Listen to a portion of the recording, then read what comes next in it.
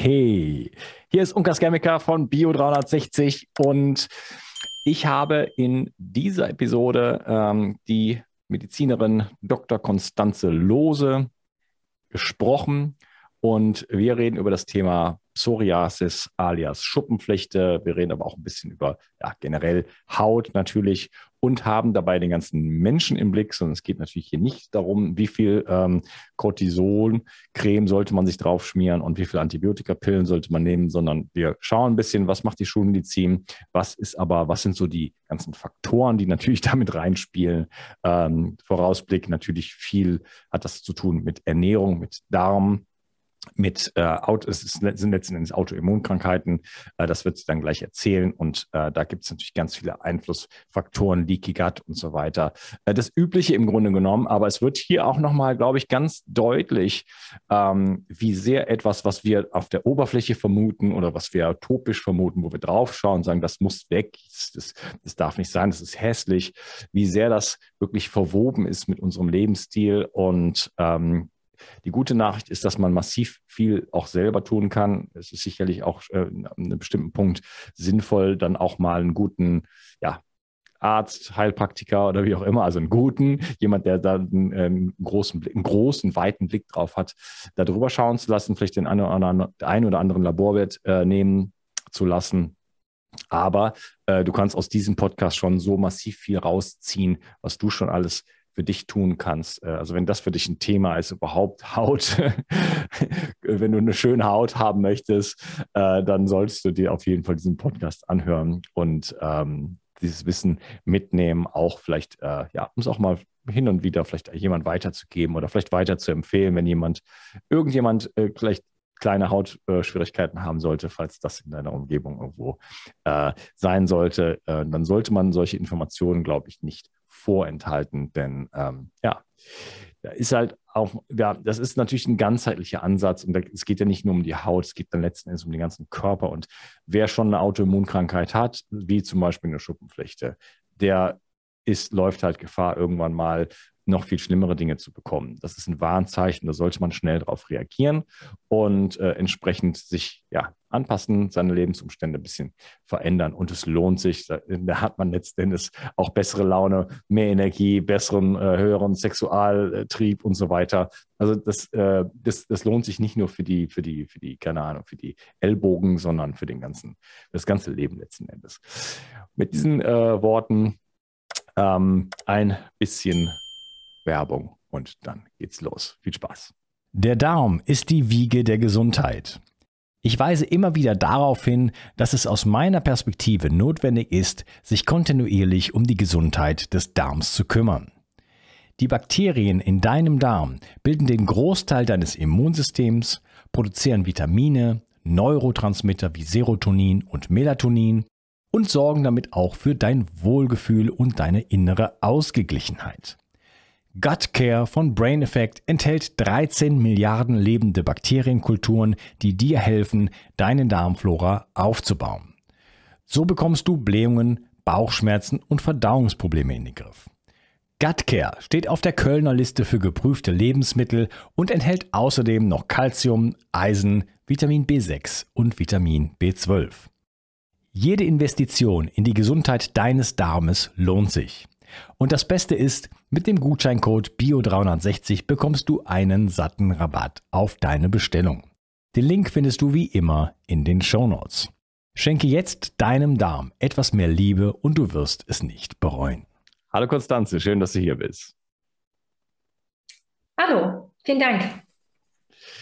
Wir wollen über ähm, Psoriasis und Hautkrankheiten sprechen. Äh, bin ich sehr gespannt. Das ist eigentlich ein Thema, äh, was ich so für mich nicht so auf dem Schirm habe, weil meine Haut sehr gut ist. Äh, war aber tatsächlich auch nicht immer so. Äh, als Jugendlicher hatte ich auch irgendwie Ekzeme und solche, solche Geschichten und habe dann da auch äh, teilweise Hausmittelchen äh, angewendet, kommen wir dann später zu. Ähm, bevor wir einsteigen, vielleicht stell, stellst du dich mal ein bisschen vor und ähm, ja, genau, und dann machen wir weiter. Ja, mein Name ist ähm, Dr. Konstanze Lose. Ich bin Facharzt für Allgemeinmedizin mit aber Schwerpunkt und Leidenschaft für Präventivmedizin. Ich habe eine eigene Praxis in Norderstedt in der Nähe von Hamburg und ähm, versuche da aber so gut es geht neben der normalen Hausarztmedizin auch die ganzheitliche Medizin ähm, vor allem mitzumachen. Deswegen habe ich mich eben auf Ernährungsmedizin, Mikronährstoffe, Sportmedizin und Naturheilkunde spezialisiert und weil ich einfach gemerkt habe, ja, das Normale reicht nicht aus, um die Patienten gut zu behandeln. Und äh, auch durch meine eigene Krankheitsgeschichte bin ich so ein bisschen in diese Richtung gestoßen worden, mich dann ganzheitlich ähm, ja, mit der Schuppenflechte auch auseinanderzusetzen. Mhm. Schuppenflechte und Psoriasis ist das gleiche? Ja, Psoriasis ist einfach nur der, der Fachbegriff. Ähm, Schuppenflechte ist ein bisschen leichter verständlich, aber erklärt auch schon so ein bisschen, was es eigentlich ist. ja, okay. Vielleicht fangen wir mal ganz woanders an. Was ist denn eigentlich die Haut? Ja, die Haut, eigentlich wissen wir irgendwie alle, dass es unsere Körperhülle ist, ne? aber so die Abgrenzung von innen nach außen. Aber im medizinischen Sinne ist es ein Organ, sogar das größte Sinnesorgan, was wir haben. Nur der Darm ist eigentlich noch äh, größer von der Quadratmeter Oberfläche. Wir haben, ähm, ja, je nach Größe und Umfang natürlich so ungefähr zwei Quadratmeter. Und es ist ein Stoffwechselorgan. Ähm, da werden, wird Sauerstoff transportiert, Nährstoffe äh, transportiert, die Wärme wird reguliert. Ähm, es grenzt uns, wie gesagt, ab, schützt uns vor Umwelteinflüssen. Ähm, es ist also doch so viel mehr als, äh, als das, was wir vielleicht nur erahnen. Ne? Hm. Es grenzt ab, verbindet aber auch, oder? Absolut, absolut. Ne? Und also gerade die Berührung zum Beispiel. Äh, das, da richtig, wir haben da eben auch, also die Haut, ne, da sind eben ganz viele ähm, Sinnesrezeptoren auch drin. Ähm, die Tastrezeptoren, Vibrationsempfindungen ähm, kann man spüren, ne? dann die Thermorezeptoren, also man kann Wärme alles spüren und ähm, das heißt ja auch nicht umsonst sich wohl in seiner Haut fühlen. Das ist ja dann noch so ein ganz schönes Sprichwort und ähm, bei vielen dann eben nicht der Fall. Das heißt, die Haut ist auch das, was wir nach außen hin sehen, dass die einen guten Eindruck macht, dass die sag mal, hübsch ist. Ne? Ähm, das gerade jetzt im Sommer, wo wieder mehr Haut gezeigt wird, ist ein, ist ein Riesenpunkt. Ähm, aber es hat eben wichtige Funktionen für unseren Körper. Mhm. Inwiefern ist denn äh, auch der mikrobielle Austausch wichtig, deiner Meinung nach? Also wir sind ja besiedelt quasi von ganz vielen Bakterien. Wir denken immer, wir leben in einer sterilen Welt, aber das ist überhaupt nicht der Fall. Gerade auf der Haut ähm, sind Milliarden von, von Bakterien, Milliarden von Mikroben, alles, was dazugehört. Und es ist wahnsinnig wichtig, dass das in Ordnung ist. Denn nur wenn das intakt ist, dann kann die Haut letztendlich auch funktionieren. Ja, also das ist schon komplexer. Ne? Das ist auf der einen Seite ist irgendwo die Hülle nach außen, auf der anderen Seite ist es Kontaktstelle und es ist auch Austauschstelle für das Mikrobiom, äh, denn wir nehmen äh, ja auch Bakterien, die wir ja brauchen, auf über unsere Nasen. Äh, Nebenhöhlen und so weiter zum Beispiel sind große wie Fänger dafür, äh, aber natürlich auch über den gesamten Körper und die gesamten Hautflächen und so weiter. Ne? Das ist natürlich in ja, letzten zwei Jahren unpopulär geworden, aber wir brauchen das letzten Endes, um gesund zu sein. Aber das brauche ich hier meinen Hörern nicht weiter zu erzählen. Dafür habe ich genug äh, sehr umfangreiche Podcasts gemacht. Ähm, ja, ähm, ich hatte selber Schuppenflechte als, als Kind. Ist das irgendwie, äh, Kinder haben das häufiger. Wieso? Äh, was ist das überhaupt, Schuppenflechte? Wie, wie kommt das? Also viele denken, Schuppenflechte ist eine reine Hauterkrankung und das ist es leider nicht. Es ist eine Systemerkrankung und auch eine Autoimmunerkrankung. Das muss einem bewusst sein. Mir war das jahrelang nicht bewusst. Ich dachte immer nur, ich habe da ein paar Ekzeme. Ekzeme heißt ja einfach nur trockene Hautstellen und das ist das, was viele natürlich haben, auch Babys, ähm, Kinder, auch teilweise Erwachsene. Das kann man mal im Laufe der Welt, im Laufe der Zeit entwickeln. Ähm, das muss dann nicht gleich eine Schuppenflechte sein. Es kann auch eine Neurodermitis sein. Es kann eben auch nur eine vorübergehende Ekzembildung sein. Und ähm, je nachdem, wie die Lebensphase auch so ist, bilde ich das dann eben aus verschiedenen Gründen aus. Eine richtige Schuppenflechte ähm, kann sich im Kleinkindalter manifestieren, aber auch im Erwachsenenalter. Ähm, das Durchschnittsalter ist meistens so 28 Jahre, wo das tatsächlich so richtig zum Ausbruch kommt. Ähm, aber möglich ist es eben in allen Lebensphasen. Aber es ist eben keine reine Hauterkrankung, sondern wie gesagt eine Systemerkrankung, ähm, teilweise ne, bis zu 15 bis 40 Prozent auch Gelenkbeteiligung ähm, ist mit dabei. Und, ähm, Gelenkbeteiligung? Genau, also Psoriasis, Arthritis Ähm, das ist tatsächlich die ähm, Form, also wie so eine Art Gelenkräumer ne, Gelenkschmerzen, aber die Ursache ist dann tatsächlich die Schuppenflechte und dadurch, dass es ja eine Autoimmunerkrankung ist, ähm, bilden sich quasi Autoantikörper, also Antikörper gegen körpereigene Strukturen. Ne? In dem Fall zum Beispiel dann die Haut ne, oder dann auch die Gelenke. Und wir wissen ja auch, dass wenn man eine Autoimmunerkrankung hat, dass man dann automatisch auch ein höheres Risiko hat für weitere Autoimmunerkrankungen. Und deswegen haben eben viele Patienten da nicht nur eine Schuppenflechte, sondern vielleicht auch noch ein Hashimoto, ähm, also eine Schilddrüsen-Autoimmunerkrankung oder im schlimmsten Fall eben auch eine Multiple Sklerose. Mhm. Wie kommt das denn, dass, dass dann Kinder schon äh, ganz früh teilweise dann eine Autoimmunkrankheit haben? Oder kann man das dann immer davon ausgehen, wenn, wenn die jetzt Ekzeme, Ekzeme ist, du hast gesagt, das ist trockene Stelle, ne? Also mhm. es kann dann äh, einfach ähm, auch Psoriasis sein? Oder ist es, ist es, ist es, ist es das Gleiche? Ist das, sind das Synonyme oder? Nee, Extrem heißt im medizinischen Sinne erstmal nur, ich habe eine trockene Hautstelle. Ähm, ne, trocken, schuppig letztendlich. Sowas kommt ähm, und geht ja auch schon mal. Ne? Wenn man zum Beispiel viel, viel, Zucker isst, äh, ja. Beispielsweise, dann, dann, kann, dann, kann man das beobachten, wie plötzlich irgendwelche Stellen, die, da, die dafür äh, sensibel sind, plötzlich trocken werden. Genau, ne? oder auch wenn man ähm, Alkohol trinkt. Deswegen hatte ich ja gesagt, diese Phase, wo das so mit 28 Jahren im Durchschnitt ähm, auftritt, habe ich schon gedacht, ob das bei vielen dann so nach dem Studium ist. Ähm, zumindest war das in meiner Zeit so, dass es äh, während des Studiums durch meinen ungesunden Lebensstil sich das stark verschlechtert hatte.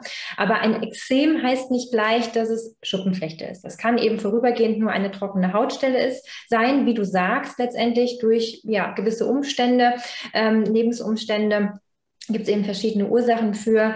Ähm, aber du hast vollkommen recht, es nimmt schon zu. Und da müssen wir uns eben fragen, sämtliche Erkrankungen nehmen ja tatsächlich zu.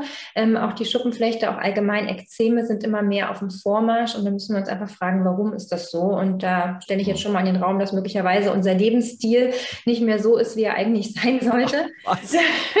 Erzähle ich das, aber äh, ja, ja, das ist eine der, der Ursachen. Aber wenn man sowas hat, man sollte es auf jeden Fall abklären. Für gewöhnlich ist die Schuppenflechte eine Blickdiagnose für den Hautarzt. Ne?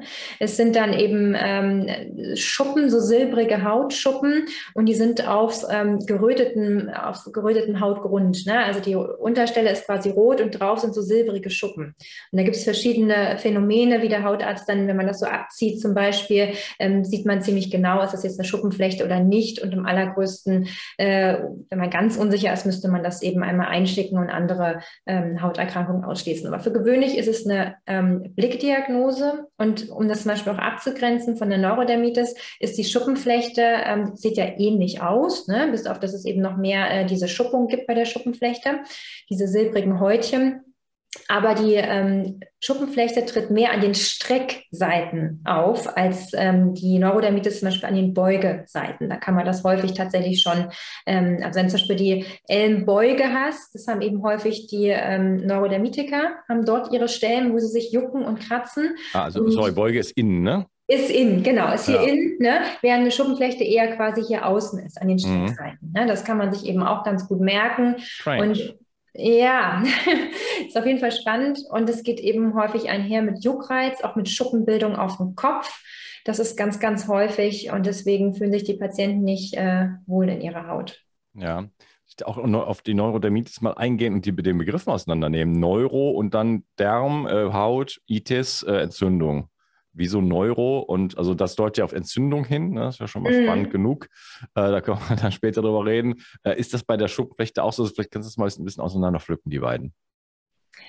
Also es ist eine entzündliche, es sind beides entzündliche Hauterkrankungen, definitiv. Ähm, es ist auch viele Überschneidungen tatsächlich, die man findet. Gerade auch die Ursachen sind häufig ähnliche Ursachen. Ähm, und ja, es ist ganz spannend, woher jetzt eigentlich die Be Begriffe kommen. Ne? Ähm, das kann ich dir ehrlich gesagt noch nicht mal sagen, warum jetzt Neurodermitis ausgerechnet Neurodermitis heißt. Aber, du hast aber ist da im Neuroaspekt, hat das was mit Nerven zu tun?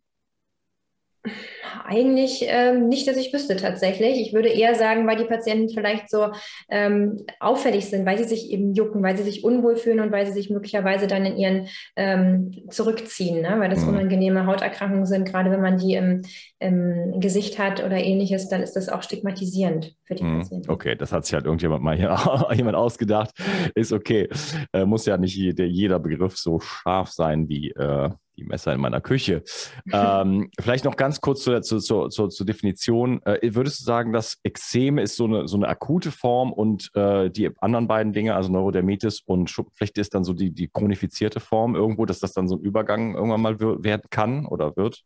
Man kann das so ausdrücken, aber wie gesagt, Ekzem im medizinischen Sinne ist erstmal all das, was irgendwie so eine trockene ähm, Hautstelle ist. Hm. Und, ähm, ja, aber so eine Neurodermitis oder eine die kommt ja auch nicht über Nacht, oder? Nein, genau. Das sind chronische Erkrankungen. Die können ähm, konstant die ganze Zeit da sein. Die können aber auch in Schüben auftreten, dass sie auch mal vielleicht ähm, für mehrere Monate bis Jahre auch weg sind. Und dann kann es aber wieder auftreten. Und du hattest ja auch noch vorhin ähm, gefragt, ähm, warum das eben auch Kinder haben. wie gesagt, das kann in jedem Alter prinzipiell auftreten. Ich habe ja schon unterstellt, der Lebensstil ist möglicherweise auch von vielleicht der Mutter in der Schwangerschaft da nicht der beste gewesen, dass ähm, sowas zum Beispiel dann auch mit auftritt, eine Ekzemneigung. Es gibt aber auch eine genetische Komponente. Gerade bei der Schuppenflechte wissen wir, dass es neun Gene gibt, die da eine Rolle spielen. Und ähm, wenn man in der Familie, wenn ein Elternteil ähm, Schuppenflechte hat, dann habe ich bereits bis zu 25 Prozent eben ein Risiko für das Kind, dass es das auch bekommt. Also die Gene spielen eine Rolle. Aber das Gute ist, es ist kein unausweichliches Schicksal, sondern es gibt ja auch noch die Epigenetik, wo wir die Gene an- oder abschalten können. Ne, wir sind ja alle mit so einer Art Hardware quasi ausgestattet. Ich sage mal, das sind jetzt so vereinfacht gesagt die Gene, aber die Software, die ich dann drauf spiele, auf den Computer sozusagen, auf unseren menschlichen Körper, wie ich mich verhalte, ne, was ich für Umwelteinflüssen ausgeliefert bin, das habe ich dann eben doch in der Hand. Das ja. ist das Schöne. Ja, in den letzten zehn Jahren konnte er auf, einem, auf derselben Hardware Windows oder macOS laufen. ja, also äh, komplett verschiedene Dinge, sag ich jetzt mal. Ne? Oder man könnte ja noch was völlig anderes da drauf laufen lassen von mir aus. Ähm, ja, äh, da äh, weise ich auf den äh, Podcast mit Manuel Burzler hin, Epigenetik, Epigenetik Coach und so weiter, da sprechen wir darüber. Und ich habe schon mal, oh, das weiß ich jetzt mal nicht mehr, wie der heißt, schon vor, vor Jahren mal ein äh, Interview zum Thema Epigenetik gemacht mit einem Wissenschaftsautor. Äh, das war auch sehr, sehr spannend. Ja, also das heißt, wir haben, äh, es, das Leben macht es uns nicht leicht, oder? Äh, wir sagen, ah ja, zwischen 20 und 30, da äh, kriegen viele Leute das, na klar, die äh, essen immer Chips und Pizza und trinken und rauchen oder was weiß ich und dann, dann sind sie es halt selber schuld und das liegt halt an deren Lebensstil. Aber dann gibt es die Zweijährigen, die haben das auch. Ja, dann ist es die Mutter, aber dann hat die Mutter vielleicht doch nur irgendwie Demeter gegessen und dann ja, liegt es vielleicht an der Genetik oder so. Ne? Das ist immer, es ist immer eine Gemengelage und es ist immer komplex und immer irgendwie auf irgendwas zu zeigen, äh, ist halt dann auch, funktioniert, greift dann meistens zu kurz. Aber wir wollen dann natürlich trotzdem äh, im späteren Verlauf dann wirklich die Dinge so ein bisschen einzeln auch mal ansprechen, äh, was da überhaupt so die Faktoren sind, die da reinspielen. Ne? Das ist nicht immer das eine Ding, sondern das sind einfach, eine, wie gesagt, eine Gemengelage, da kommen viele Dinge zusammen. Aber lass uns mal, äh, bevor wir da reingehen, äh, mal kurz so sagen, was macht denn die ähm, die Schulmedizin eigentlich mit dem Thema? Ja, die Schulmedizin äh, vermittelt dem Patienten häufig eher, dass es eine Haut, eine reine Hauterkrankung ist und dass es nicht so schlimm sei und dass man da einfach eine Salbe drauf schmiert. Ne? Also man behandelt es prima mit externer, also mit äh, Salben, Cremes, Lotionen. Ähm, damit kommen die meisten Patienten hin. Es gibt, ähm, früher wurde fast ausschließlich mit Cortison therapiert. Ähm, auch ich habe damals äh, viel Cortison-Salben bekommen. Es gibt mittlerweile. Ähm, ah, du hattest das auch. Genau, also so bin ich eigentlich zur, ähm, ja, zur Ernährungsmedizin und Mikronährstoffmedizin überhaupt gekommen, äh, weil ich eine Schuppenflechte habe und zwar auch seit der, seit der Kindheit und äh, da so ein bisschen meine äh, Leidensgeschichte quasi. Ähm, ah, kannst du gerne mal erzählen? Ich, ich frage fast immer, wie bist du zu dem Thema gekommen? Das habe ich jetzt heute mal nicht gemacht.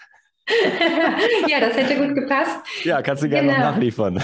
ja, wunderbar. Dann mache ich das. Ja, ich habe seit meiner Jugend, Kindesalter, ich weiß nicht mehr genau, wie alt ich war, ähm, aber ich weiß, dass es so anfing, dass man irgendwie in den Ohren so, so leichte Schuppen hatte, hinter den Ohren und dann eben auf der Kopfhaut. Und ich kann mich noch erinnern, dass ich bei so einem uralten ähm, Hautarzt war und der hat mir mit einem scharfen Löffel die Schuppen von der Kopfhaut gekratzt. Ähm, und ich weiß, dass ich da geweint und geschrien habe.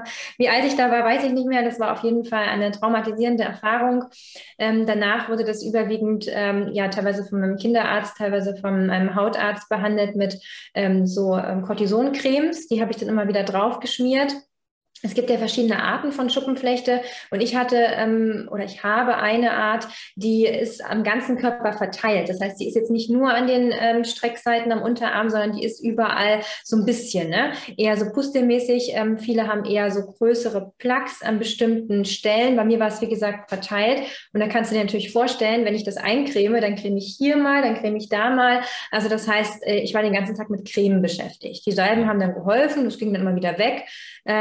Und ähm, während der Studentenzeit wurde das Ganze dann schlimmer tatsächlich, ähm, wo ich ja vorhin schon gesagt habe, dass da mein Lebensstil nicht gerade der beste war. Ich habe mich da eigentlich nur von Fertiggerichten ernährt, konnte nicht kochen. Mein Lieblingsgericht war immer, ob du das kennst, dieser, ähm, äh, ähm, dieser ähm, Kartoffelbrei, der aus Pulver besteht mit Röstzwiebeln, den man nur mit Wasser aufgießt. Das war eigentlich so mein, mein tägliches Essen. Und, ja, so äh, fancy Sachen gab es bei mir noch nicht. Ich bin da doch, glaube ich, ein bisschen älter als du.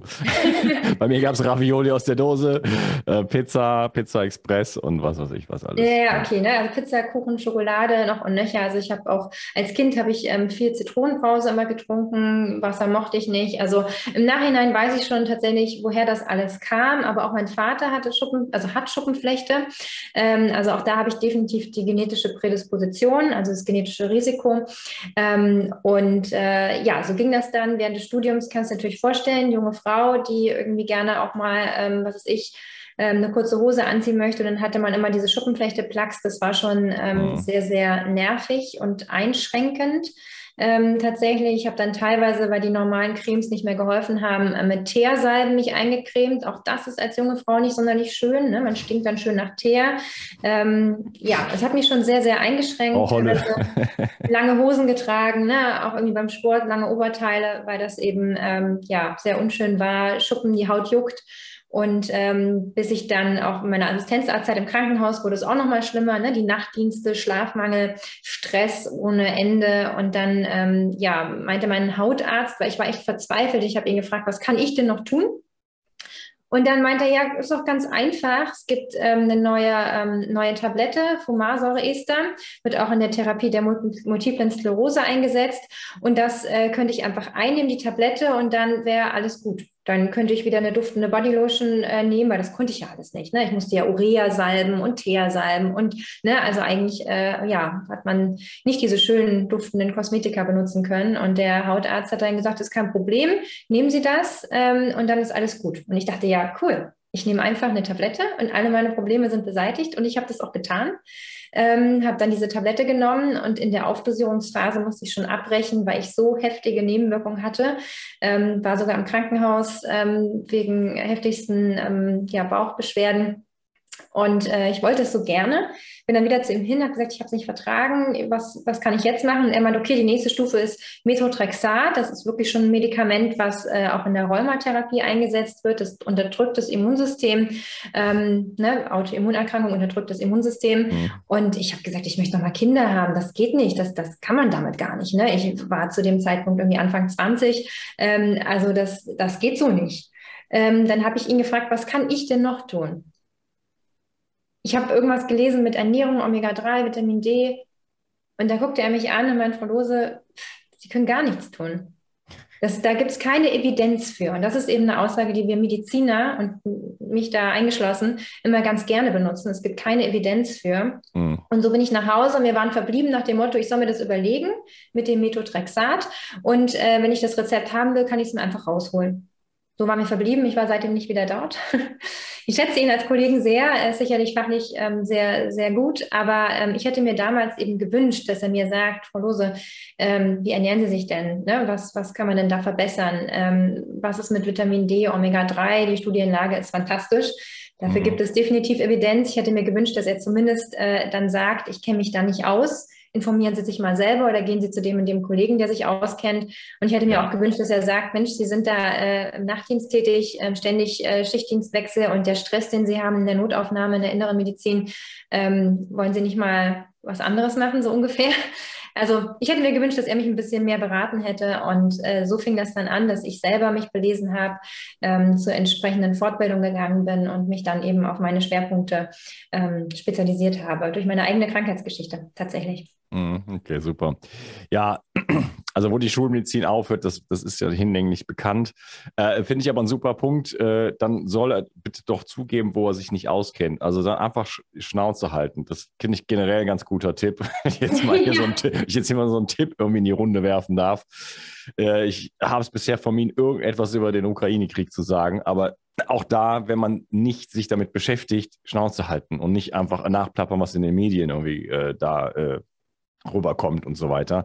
Äh, das ist, betrifft das auch irgendwo alles. Ich meine, klar kann nicht jeder der unfassbare Experte sein und ab welchem Punkt darf man mitreden und nicht.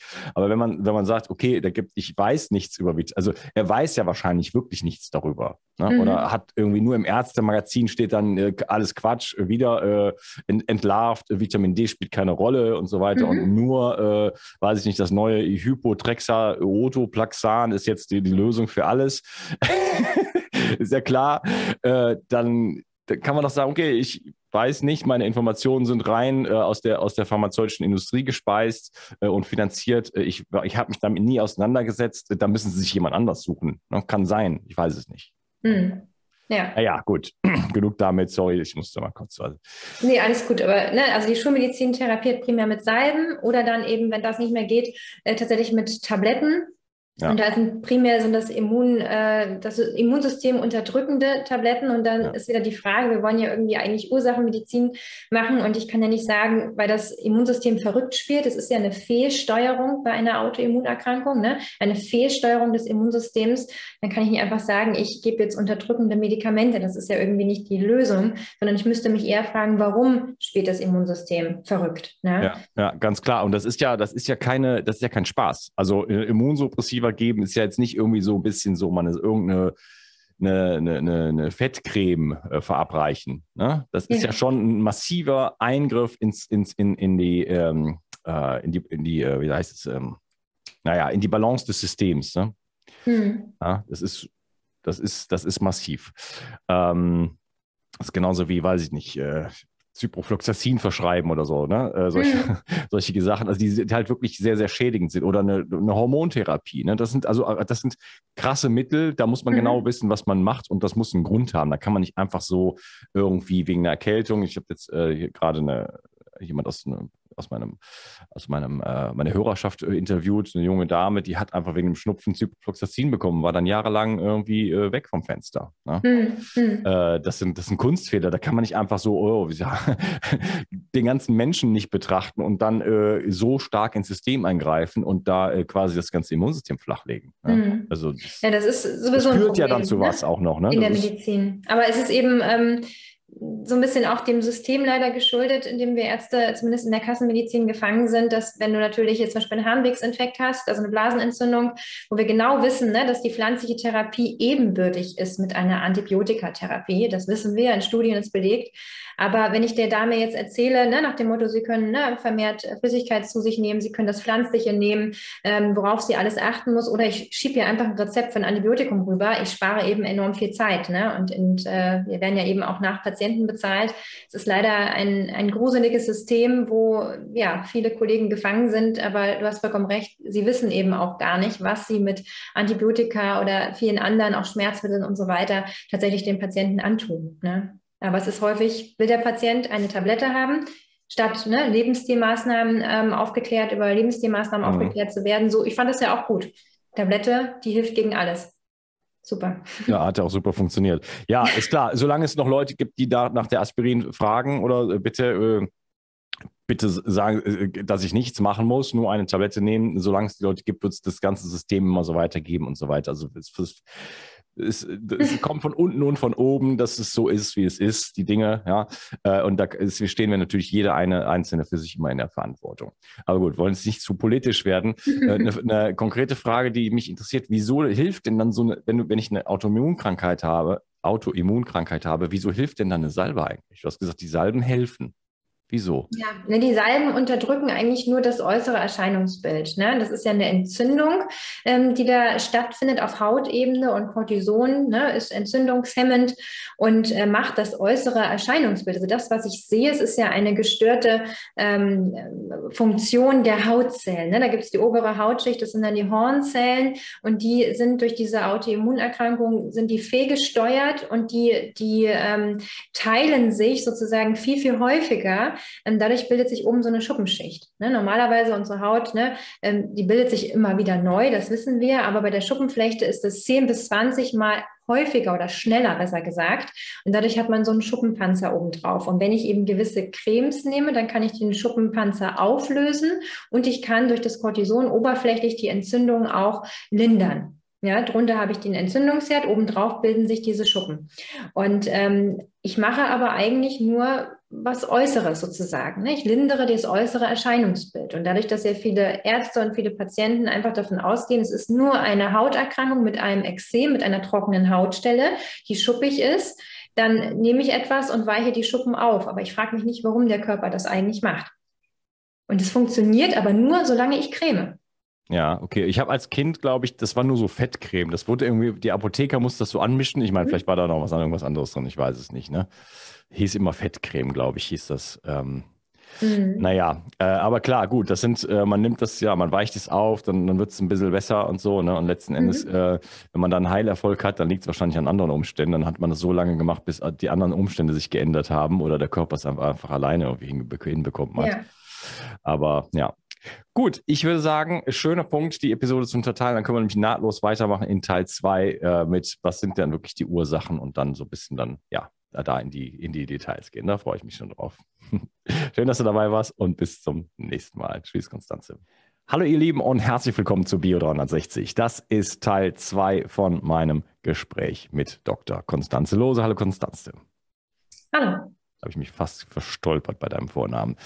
Ja, äh, wir sprechen über äh, Schuppenflechte, Psoriasis, bisschen Neurodermitis, überhaupt Haut generell, Hautkrankheiten, ähm, und natürlich den ganzen Mensch, der da drumherum hängt oder da drin steckt.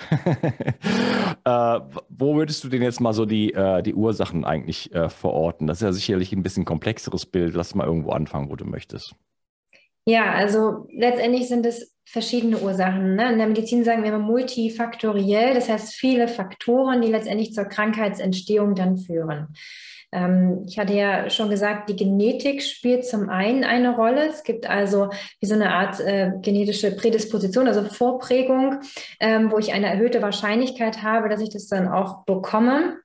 Ja, gerade wenn eben ein Elternteil betroffen ist, dann eben bis zu 25 Prozent ist die Wahrscheinlichkeit, dass ich das dann auch bekomme. Ähm, und das ist eben ein Punkt. Es gibt aber viele weitere Faktoren, die eine Rolle spielen. Zum einen ähm, können es potenziell Infektionen sein tatsächlich, die ähm, Auslöser sein können, vor allem ähm, ja, so bestimmte Bakterieninfektionen, Streptokokkeninfektionen, die man vielleicht dann auch mal als Kind oder so durchgemacht hat.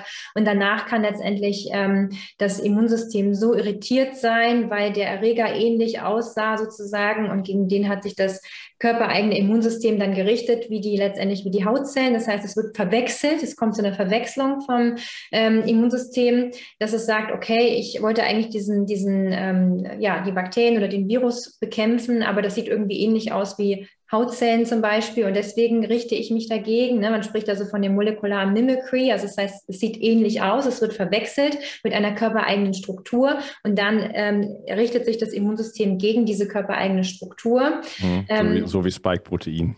Äh, so ungefähr. Und aber auch, ähm, wir wissen bei der Schuppenflechte auch gewisse Hauttraumata, ähm, sei es zum Beispiel mal ein Sonnenbrand. Ähm, auch sowas kann tatsächlich ähm, ein Ekzem, eine trockene Hautstelle, beziehungsweise dann auch eine Schuppenflechte auslösen. Es gibt da in der Medizin, heißt es das Köbner-Phänomen. Das heißt, wenn ich jetzt zum Beispiel mich die ganze Zeit jetzt hier kratze am äh, Unterarm, dann ähm, ist es möglich, dass äh, nach wenigen ähm, Tagen tatsächlich da ein Schuppenflechte-Plaque auftritt. Gerade wenn ich diese genetische ähm, Wahrscheinlichkeit habe, mit der das dann auftreten kann. Ähm, das heißt, wenn ich irgendwie bestimmte Hautverletzungen Verletzung habe, kann sich darauf ein Plaque bilden, weil die Haut dann irritiert ist. Es gibt aber eben viele, viele Faktoren, die dann noch mit einer Rolle spielen, auch viele Umweltfaktoren. Wenn ich zum Beispiel rauche, ist ja ne, das, klar, dass es irgendwie nicht gut ist, aber das kann eben auch dazu führen, dass eine Schuppenflechte, eine Autoimmunerkrankung mit auftritt. Aber auch wenn ich jetzt ähm, neben einem Kraft, Kraftwerk wohne, auch das sind alles oder Abgase etc. Ähm, viele potenzielle Sachen. Oder wenn ich jetzt mich nur noch von Thunfisch ernähre und eine Quecksilbervergiftung äh, kriege, auch das sind Umweltfaktoren. Dann spielt die Ernährung eine große, große Rolle. Ähm, da gibt es gewisse Stoffe in der Ernährung oder gewisse Lebensmittel, die klassischerweise ähm, zu stillen Entzündungen führen im Körper. Ne? Silent Inflammation, oxidativer Stress. Ähm, um jetzt nochmal Beispiele zu nennen, da spielt eben Zucker eine ganz große Rolle, da spielt Alkohol eine große Rolle, Weizen ähm, spielt eine große Rolle aber auch mal Nachtschattengewächse und ähnliches. Ähm, da gibt es also viele, viele Faktoren, die da tatsächlich ähm, in der Ernährung ähm, Entzündungen auslösen, die dann wiederum in der Autoimmunerkrankung mit ähm, münden können. Und ähm, dann auch, wenn ich einen Mangel habe an gewissen Nährstoffen, man muss sich das ja so vorstellen, die Autoimmunerkrankung, das ist wie so ein Fass, was irgendwann überläuft. Und da gibt es eben einen Tropfen, der bringt das Fass zum Überlaufen. Aber es sind eben verschiedene Dinge, die haben das Fass gefüllt. Da ist es zum Beispiel das Rauchen, da ist es zum Beispiel die zuckerreiche Ernährung ähm, oder wie bei mir in der Studentenzeit, ne, es war Zucker, es war ähm, viel Alkohol, Tequila bei den Studentenpartys, ähm, ne, es war natürlich wenig Schlaf, nächtelang durchgefeiert, Stress, Schlaf spielt eine riesengroße Rolle auch mit. Und irgendwann ist das Fass einfach übergelaufen. Und dann kommt einfach nur als, als Ausdruck, da ist jetzt ein, ein, ein sichtbarer Plack, sozusagen ein Schuppenflechte-Plack, so äußert sich dann die Erkrankung. Aber dem Ganzen gehen ja mehrere Monate bis Jahre und Jahrzehnte teilweise voraus, indem sich das Fass füllt. Und was dann letztendlich dieses Fass zum Überlaufen gebracht ist, ob es in dem Moment dann die Infektion war, die ich noch hatte, ne, ähm, die quasi das, äh, oder eben auch Medikamente können Schuppenflechte auslösen. Ne, die Gabe von Antibiotika, die Gabe von Beta-Blockern zum Beispiel, die ja eben auch in der Medizin viel eingesetzt werden bei Herzrhythmusstörungen oder bei Bluthochdruck. Da weiß man einfach, sowas kann eine Schuppenflechte auslösen sodass ganz viele Faktoren da eine Rolle spielen und man nicht dann mehr sagen kann, das eine war's. Ne? Also ich kann für meinen Teil sagen, die Zitronenbrause in der Kindheit immer, immer wieder und generell die sehr zuckerreiche Ernährung haben definitiv eine Rolle gespielt und im Studium kam dann eben Alkohol, ähm, Stress, Schlafdefizit und so weiter noch hinzu und eben die massiven Fertiggerichte, weil ich nicht kochen konnte, die ich dann konsumiert habe. Und ähm, das ist dann eben auch ein Teufelskreislauf. Das heißt, ich ernähre mich von nährstofflosen Kalorien. Und wo soll es dann herkommen? Ne? Dann habe ich kein Omega-3. Ähm, wenn ich dann auch noch die Sonne, nicht in die Sonne gehe und so weiter, kriege ich auch kein Vitamin D. Ähm, oder ich hatte dann mich eben ne, langärmlich bekleidet, weil die Haut ja sowieso unschön aussah. Das sind alles so Faktoren, ähm, wenn ich mich eben ungünstig ernähre, dann kriege ich wenig Nährstoffe und wir brauchen eben, damit unser ganzer Körper funktioniert, brauche ich eben Mikronährstoffe, also Vitamine, Mineralstoffe etc. Und wenn irgendwo da was fehlt, dann ist es eben auch der nächste Schritt, dass ähm, irgendwo was im Körper nicht gut läuft. Ne? Zum Beispiel das Fehlsteuerung des Immunsystems. Und wenn ich dann noch vermehrt Stress habe, dann habe ich auch einen erhöhten Nährstoffverbrauch. Also das ist wirklich wie so ein Teufelskreislauf. Die Ernährung ist dann schlecht, ähm, da ist nichts mehr drin. Da sind möglicherweise auch Pestizide mit dabei, Konservierungsstoffe oder eben auch Antibiotika-Rückstände. Äh, ne? Und auf der anderen Seite ähm, komme ich immer mehr in diesen Nährstoffmangel rein, habe aber auch durch den Stress, den ich auch noch habe, einen erhöhten Nährstoffverbrauch und somit ist es wirklich so ein Teufels, ähm, Teufelskreislauf und spielen, wie gesagt, ganz verschiedene Faktoren da eine Rolle. Es ist multifaktoriell. Hm, okay. Jetzt hast du viele, viele Sachen gesagt. Das ist aber so ein bisschen so eine, wie so eine Abwärtsspirale dann auch. Kann man reinkommen. Äh, war ja dann bei dir zum Beispiel im Sinne von, oh, jetzt sieht meine Haus, Haut schlecht aus. Ich bin eine junge, hübsche Frau, aber ich, das ist unattraktiv, deswegen bedecke ich mich. Jetzt kriegst du noch mehr. Also, wenn du schon Vitamin D-Mangel hast, sage ich jetzt mal, als, als ein kleiner Baustein, dann kriegst, hast du noch mehr Vitamin D-Mangel danach, ne? weil du mhm. jetzt machst vielleicht auch nicht mehr so viel Sport. Irgendwann, ne, wenn du überhaupt Mikronährstoffmangel hast, Irgendwann äh, sagt die Energie so ein bisschen, dann macht man weniger Sport, äh, dann ist man vielleicht ein bisschen, dann, hängen die Neurotransmitter so ein bisschen durch, dann äh, neigt man vielleicht eher dazu, ein bisschen noch zur Zigarette oder zum Alkohol zu greifen und so weiter und so fort. Ne? Das, äh, mhm. Naja, und, und der Stressfaktor erhöht sich eben auch noch, weil das, man fühlt sich nicht wohl in seiner Haut. Ne? Ja. Ähm, deswegen, man hat so einen, so einen Schuppenpanzer. Ne? Es gibt so viele Wortspiele, die das auch immer ganz gut ausdrücken, wie man sich fühlt. Und wenn du eben dann da sitzt in der Vorlesung und dir der Kopf juckt und du dich kratzt oder die Unterarme, ähm, und das ist ja auch ein bisschen sozial isolierend, das, was man macht. Ne? Also das, was es mit einem macht. Ähm, und äh, das wiederum ja, ist nicht gut für die Psyche. Und wir wissen ja auch, dass die Haut, auch bei allen Hauterkrankungen, ähm, auch der Spiegel der Seele ist tatsächlich. Und äh, das ja. heißt, das verstärkt sich dann auch noch. Ne? Das ist ein Teufelskreislauf auch bei Neurodermitis. Ähm, wir wissen ja auch, wie das ist, wenn neben einem jemand sitzt, der sich juckt auch wenn das, das sind nicht ansteckende Hauterkrankungen, ja. Aber trotzdem, wir wissen, wie das auf einen wirkt. Erstes Mal fängt man selber an, irgendwann sich zu jucken automatisch und dann denkt man, oh Gott, was hat der jetzt? Ne? Also man ist schon. Also Könnte auch Kretze sein. Genau, es könnte auch Scabies sein, Kretze, genau. Also das ist wirklich, ähm, man zieht sich dann eben häufig auch zurück in seinen Schuppenpanzer und ähm, es sind so viele Faktoren, die da eine Rolle spielen. Mhm. Okay. Über Psyche würde ich gerne am Ende noch mit dir sprechen, äh, was da noch äh, los ist sozusagen. Du hast jetzt so viele Dinge angesprochen. Ähm, ich überlege gerade, inwiefern wir da wirklich auf alles eingehen können, aber du bist ja so durchgeflogen, dass ich schon, ich würde dem gerne mehr Raum geben, aber wenn wir dem richtig Raum geben, dann sind wir noch vier Stunden daran und so viel Zeit hast du nicht. Ähm, äh, oder vielleicht, ich mal, frag mal, frag mal, fang mal andersrum an. Wenn du jetzt jemanden, äh, wenn jetzt jemand zu dir kommt und der hat äh, massive Neurodermitis oder Schuppenflechte, äh, wo würdest du da anfangen? Also ich, ich denke, ich, ich gehe reif mal voraus, du wirst wahrscheinlich erstmal eine Anamnese machen und dem erstmal zuhören, wie er so sein Leben lebt. Und dann kann man natürlich auf ganz viele Dinge hinweisen. Und da sprechen wir dann vielleicht noch drüber. Aber ähm, wenn jetzt zum Beispiel, du hast von Silent Inflammation gesprochen. Also gäbe es jetzt zum Beispiel, da fängt man da erstmal Beispiel, also abgesehen von der Anamnese, die kommt natürlich sofort am Anfang, aber dass man sagt, okay, äh, ich höre hier, du machst so und so, äh, lass erstmal ein paar, paar äh, bestimmte Blutwerte nehmen zum Beispiel. Also das kommt drauf an, das kann man machen. Ähm, also du hast vollkommen richtig gesagt, Anamnese, körperliche Untersuchung, das sind so Sachen, die ähm, sollten bei jedem Arzt, jedem Therapeuten in irgendeiner Form selbstverständlich sein. Und vor allem, dass man eben auch mal ähm, bei der Anamnese nicht nur fragt, wo juckt es gerade so ungefähr oder wo tut es gerade weh, sondern dass man vielleicht auch wirklich mal fragt, gab es irgendwie Antibiotika ähm, ne, in, der, in der Kindheit, in den letzten Jahren? Ähm, seit wann fing das konkret an? Ist da irgendein, ne, ist da jemand zum Beispiel gestorben? Gab es irgendeine Situation? Haben sich die Eltern getrennt? Also auch sowas, man muss eben wirklich wirklich ganzheitliche, eine ganzheitliche Anamnese erheben, ähm, um wirklich dahinter zu kommen. Ne? Ist man als Kind gestillt worden, was ein Kaiserschnitt? Das sind alles Sachen, die spielen schon eine Rolle. Ja. Ne? Auch gerade, was ich vorhin noch nicht gesagt habe, dass der Darm natürlich auch eine ganz große Rolle bei der Entstehung der Schuppenflechte hat. Ähm, auch da würde ich ähm, eben darauf achten. Das heißt, ich habe eine ganzheitliche Anamnese, ich habe die Untersuchung und ähm, ich mache auch mal standardmäßig in der ganzheitlichen Sprechstunde bei mir ein Ernährungsprotokoll, was ich mal ausfüllen lasse für sieben Tage, um erstmal so eine Idee zu kriegen. Und dann kommt es wirklich darauf an, was möchte der Patient. Ich bin natürlich am liebsten handle ich nach dem Prinzip Messen, Wissen, Handeln. Das ist das Schönste.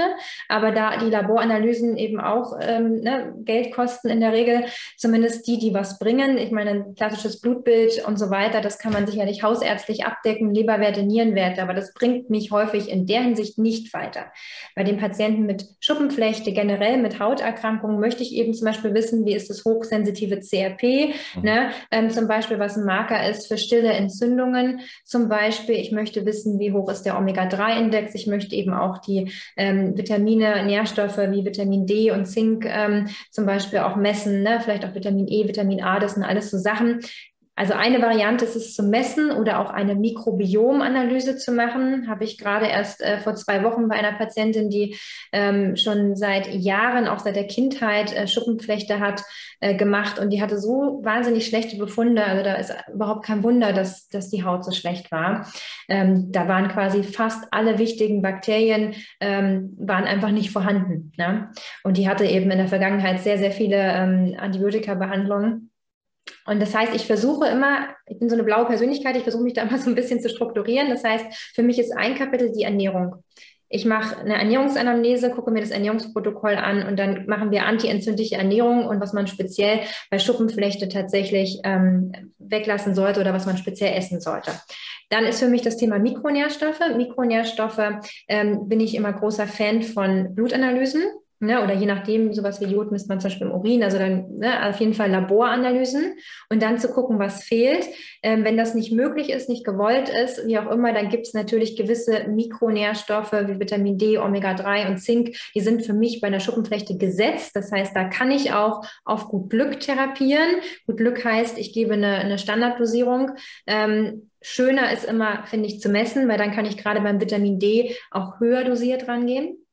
Ähm, dann ist für mich natürlich insgesamt der große Aspekt Lifestyle, den ich nochmal unterteilen würde in zum Beispiel Bewegung, ne? bewegt sich der Mensch, ist er mal draußen an der frischen Luft, ne? macht er vielleicht auch Extremsport und schwitzt die ganze Zeit, was vielleicht auch ähm, schwierig ist, was eine zu extreme Belastung für die Haut dann wäre. Das muss ich auch fragen und schauen und diesbezüglich beraten. Ähm, was ist mit Stress?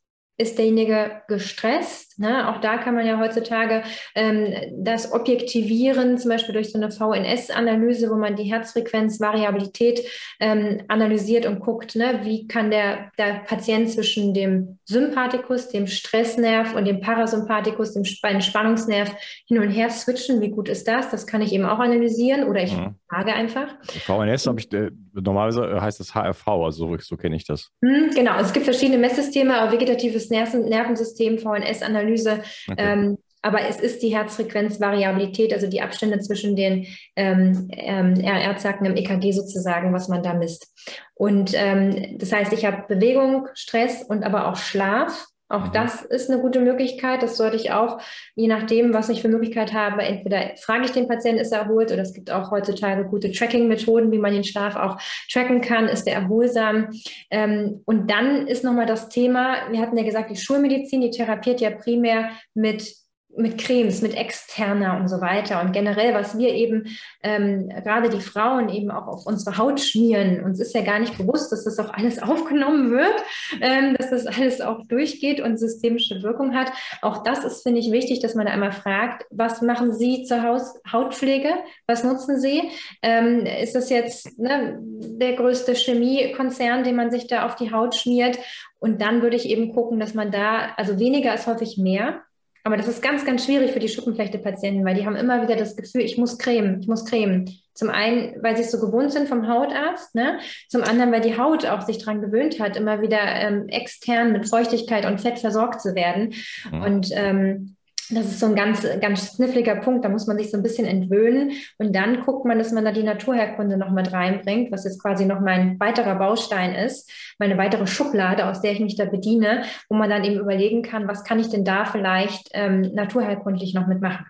Ja, ja, also das ist ja, äh, vielleicht kurz ein kurzer Einwurf. Ich habe so, hab da heute noch drüber nachgedacht, äh, ob bei den Hörern, ich mache das jetzt schon seit fünf Jahren, der Eindruck entsteht, dass ich so eine Casting-Agentur habe, wo nur Mediziner reinkommen, die mir alle nach dem Mund reden, sozusagen.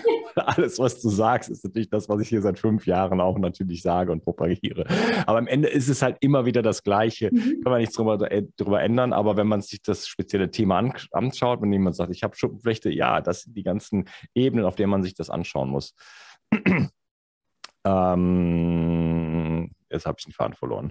Sie waren ja bei der Diagnostik, ne, letztendlich. Also, wie gesagt, das, das mache ich abhängig von dem Patienten. Ne? Ähm, ich sage immer, das und das ist möglich. Man kann letztendlich, wie gesagt, ähm, Mikronährstoffe, Vitamine, Mineralstoffe analysieren, ähm, wo auch der Omega-3-Index zum Beispiel für mich mit dazugehört. Man kann den Darm analysieren, also Mikrobiomanalysen machen, gucken, wie sind die Bakterien aufgestellt. Ähm, und man kann ähm, eben nochmal nach Stress, Schlaf, diese ganzen Sachen gucken. Auch ein Bewegungstagebuch, das sind alles Sachen, da würde ich ganzheitlich ähm, rangehen. Und was gerade auch bei Neurodermitis ne, ähm, auch eine Rolle spielt, aber auch bei der Schuppenflechte. Es gibt eben auch gewisse Allergien, Unverträglichkeiten, die möglicherweise da auch eine Rolle spielen. Auch da gibt es klassische Testverfahren.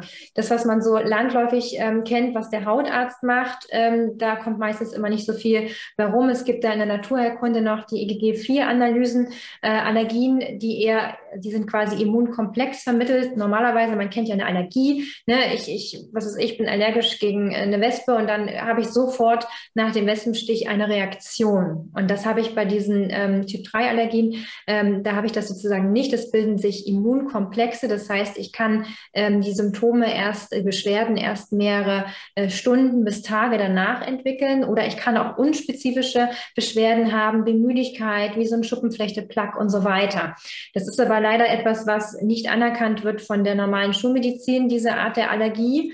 Ähm, und trotzdem ist das eben auch was, was ich empfehlen würde, dass man testen sollte. Ne, ja. In meinem Fall war das zum Beispiel damals, ähm, es waren wirklich gesunde Lebensmittel, wie zum Beispiel Leinsamen, ähm, auf die ich da so eine Allergie reagiert habe.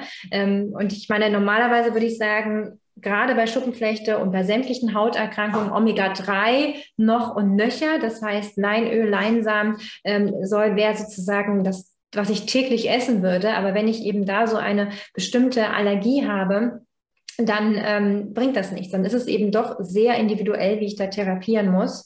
Ähm, also auch das wäre Thema Diagnostik, wäre das eine Methode, das ist eine Blutanalyse, was man auch noch machen kann. Also ich biete mhm. das den Patienten immer an, sollen wir es machen, ähm, kann man aber auch dann im Schritt drei oder vier machen, wenn man mit den anderen normalen Methoden nicht weiterkommt.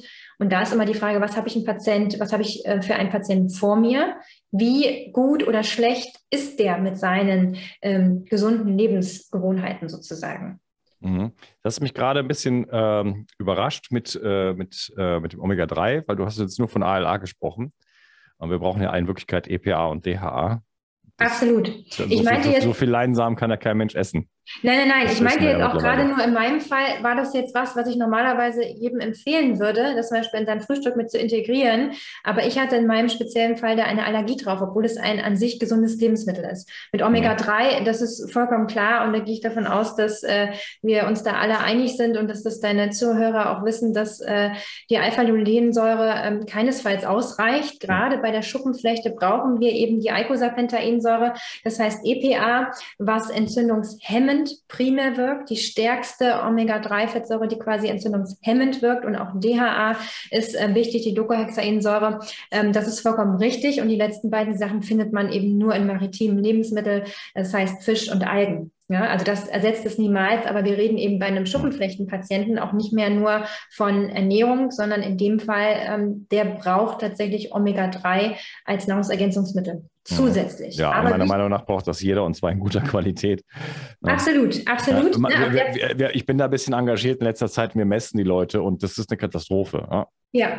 ja. Also die, gerade, also die Leute, die nichts machen oder die ganz viele Leute sagen, ah ja, also ich spreche mit vielen Leuten, dann haben die irgendwelche Kapseln von Amazon und so weiter. Ich mache mir den Spaß und sage, beiß mal drauf. Ne? Dann, dann müsste man eigentlich ein Foto machen von dem Gesicht, was man dann sieht. Ne? Also so, so ein ranziges Zeugs, was da draußen unterwegs ist. Also mhm. Also alle Kapseln zum Beispiel sind ranzig, kann man mal pauschalisieren, mhm. was durch den Herstellungsprozess so ist. Äh, ranzig heißt kaputt. Das ist so wie Pommesöl in den Motor seines, seines Ferraris sch äh, ja. schütten oder sowas. Das wird kein Mensch jemals machen. Ja, aber beim Körper okay, ne, auch das billige Zeug vom DM oder so. Ne? Naja, auf jeden Fall äh, ist es halt einfach so, dass wenn man die Leute messen, die Le also einige Leute denken, denken, sie machen Omega-3, ne, weil sie ja irgendwie mal eine Flasche irgendwas im Kühlschrank stehen haben. Und, äh, aber das hin und wieder mal nehmen sie mal dran denken oder so. Und wenn man die Leute dann misst, äh, Katastrophe. 1 zu 10, 1 zu 20, 1 zu 30. Mhm. Also Verhältnis äh, Omega-3 zu Omega-6 und so weiter, Index ganz niedrig. Und dann, ja, ist es halt ein Baustein, aber es geht hier um die, um die, um die Zellmembrane. Ne? Mhm. Da, wo der Stoffwechsel stattfindet äh, und die quasi die Durchlässigkeit der Zellmembrane. Also die Gesundheit der Zellmembrane ist auch eine der wichtigsten Therapien, was Entgiftung angeht überhaupt. Ja? Wie soll denn der Körper seine Gifte loswerden, wenn, die, wenn, wenn das alles durch eine rostige Tür sozusagen muss? Und da sieht man wieder mal, ne, die Haut ist eben auch ein Entgiftungsorgan. Da sind wir wieder beim Thema. Ne? Ja. Also das ist eben ganz, ganz viel, was wir darüber auch ausscheiden und was äh, sich auch so bemerkbar machen kann. Ja, da kommen wir gleich zu. Ich muss also, durch was mir so viele Ankerpunkte äh, und das, was ich eben, wo ich eben gesagt habe, ich äh, wusste nicht mehr, wo ich war. Äh, da wollte ich auch noch kurz was zu sagen zu diesen ganzen Cremes-Geschichten. Ähm, überhaupt Reinigungs, Reinigungswahnsinn. Äh, ich habe das seit, seit ich 16 bin, habe ich irgendwie verstanden. Äh, viel habe ich da nicht verstanden, aber da habe ich irgendwie verstanden, okay, die Haut habe ich irgendwo vielleicht mal gehört im Fernsehen oder so, weiß ich nicht. Die Haut hat eine, eine eigene Fettschicht, Schutzschicht und so weiter.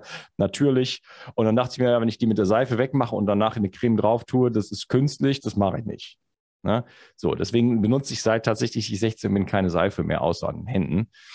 Ähm, und ja, also meine Haut ist auf jeden Fall äh, okay so äh, und immer besser. Das hat natürlich habe ich natürlich dann noch noch deutlich verbessert halt durch Ernährung und so weiter.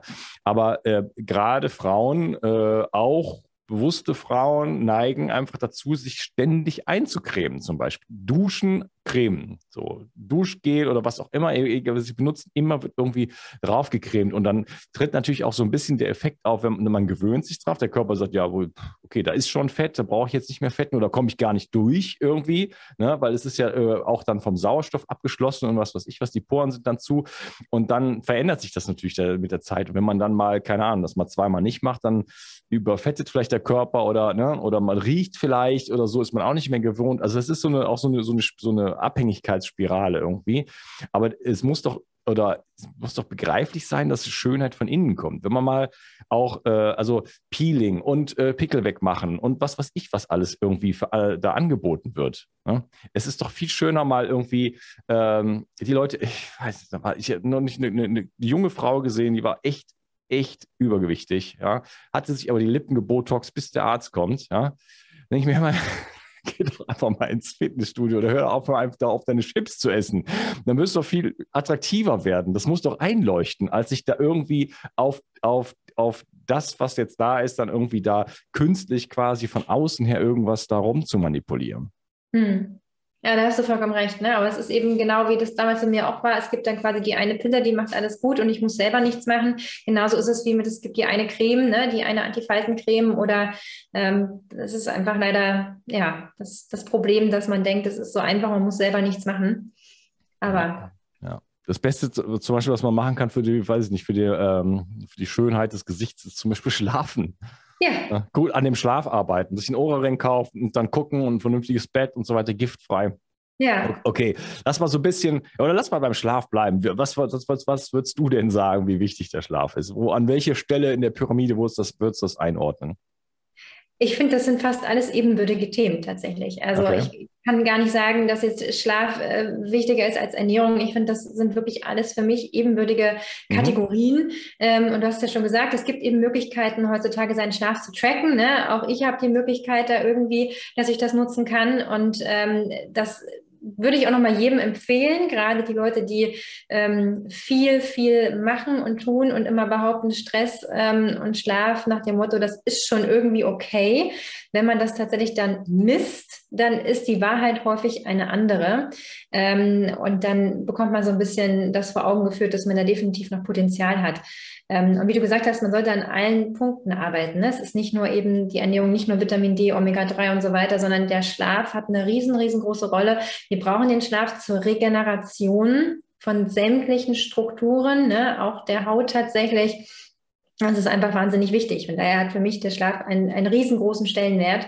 Ähm, und ähm, ich kann nicht an allen Punkten arbeiten, nur am Schlaf nicht, ähm, sondern das ist wichtig, den mit einzubeziehen. Ja, hört mal mein Buch in die Kamera nur so aus Spaß, richtig schlafen. Hm.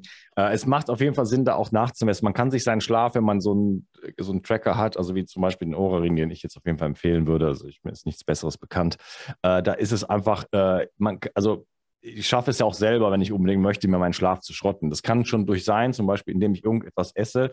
Äh, Stichwort IgG-Test. Äh, da habe ich kürzlich, kürzlich mal wieder einen gemacht, nachdem ich jetzt ein Jahr lang mal so das Experiment gemacht habe. Ich esse jetzt mal alles irgendwie ja, äh, vorher war ich nicht äh, gegen äh, Gluten äh, äh, unverträglich. Jetzt habe ich halt alles rot sozusagen hier in der App. Ne? Ähm, komplette Milchprodukte, die ich auch jetzt konsumiert habe, ein Jahr lang. Äh, Amaranth, Quinoa, alles, was Ei ist. Eine Katastrophe praktisch alle Nüsse, das war aber vorher schon so. Ne? Wenn ich jetzt zum Beispiel abends irgendwie äh, mich auf die Couch sitzen würde, ich habe keine Couch, aber ähm, und 100 Gramm irgendwelche Nüsse essen würde, ja, dann gehe ich, gehe ich in die Entzündung rein. Und äh, gut, bei Nüssen weiß ich jetzt nicht, oder irgendwas, was so ein bisschen Richtung Histamin geht und so. Äh, da kann man dann teilweise sehen, dann im Ohrring, okay, äh, gehe ich ins Bett und habe einen Puls von 90. Mhm. Ja, der Körper reagiert darauf mit Stress und dann ist die Nacht nicht so, wie sie, wie sie, wie sie, wie sie sein könnte. Ne? Wenn ich auch, wenn ich zu spät esse und so weiter und je nachdem, was ich dann esse. Und da kann es dann einfach sein, dass man wirklich massiv, äh, massiven Mangel hat an Tiefschlafphasen, REM-Schlafphasen tausendmal aufwacht, äh, der Ruhepuls äh, einfach viel zu hoch ist und so weiter oder mal der sich gar nicht richtig beruhigt und so. Ne? Also das ist schon, kann schon äh, wirklich äh, den also einen oder anderen äh, Aha-Effekt geben und man sieht dann halt, wie lange es auch braucht, um den auf einen guten Schlaf wieder aufzubauen. Bis die HF nachts hat der HRV so, da ist ja auch so ein, kann man ja auch da, wird ja mitgemessen, ist auf jeden Fall mal so ein, so ein netter Richtwert so. Man auch sieht, wie lange das dauert, bis die wieder besser wird. Ja, und wie schnell man sich das auch abschließen kann, wenn man mal irgendwie die Stränge schlägt in irgendeiner, in irgendeiner Form.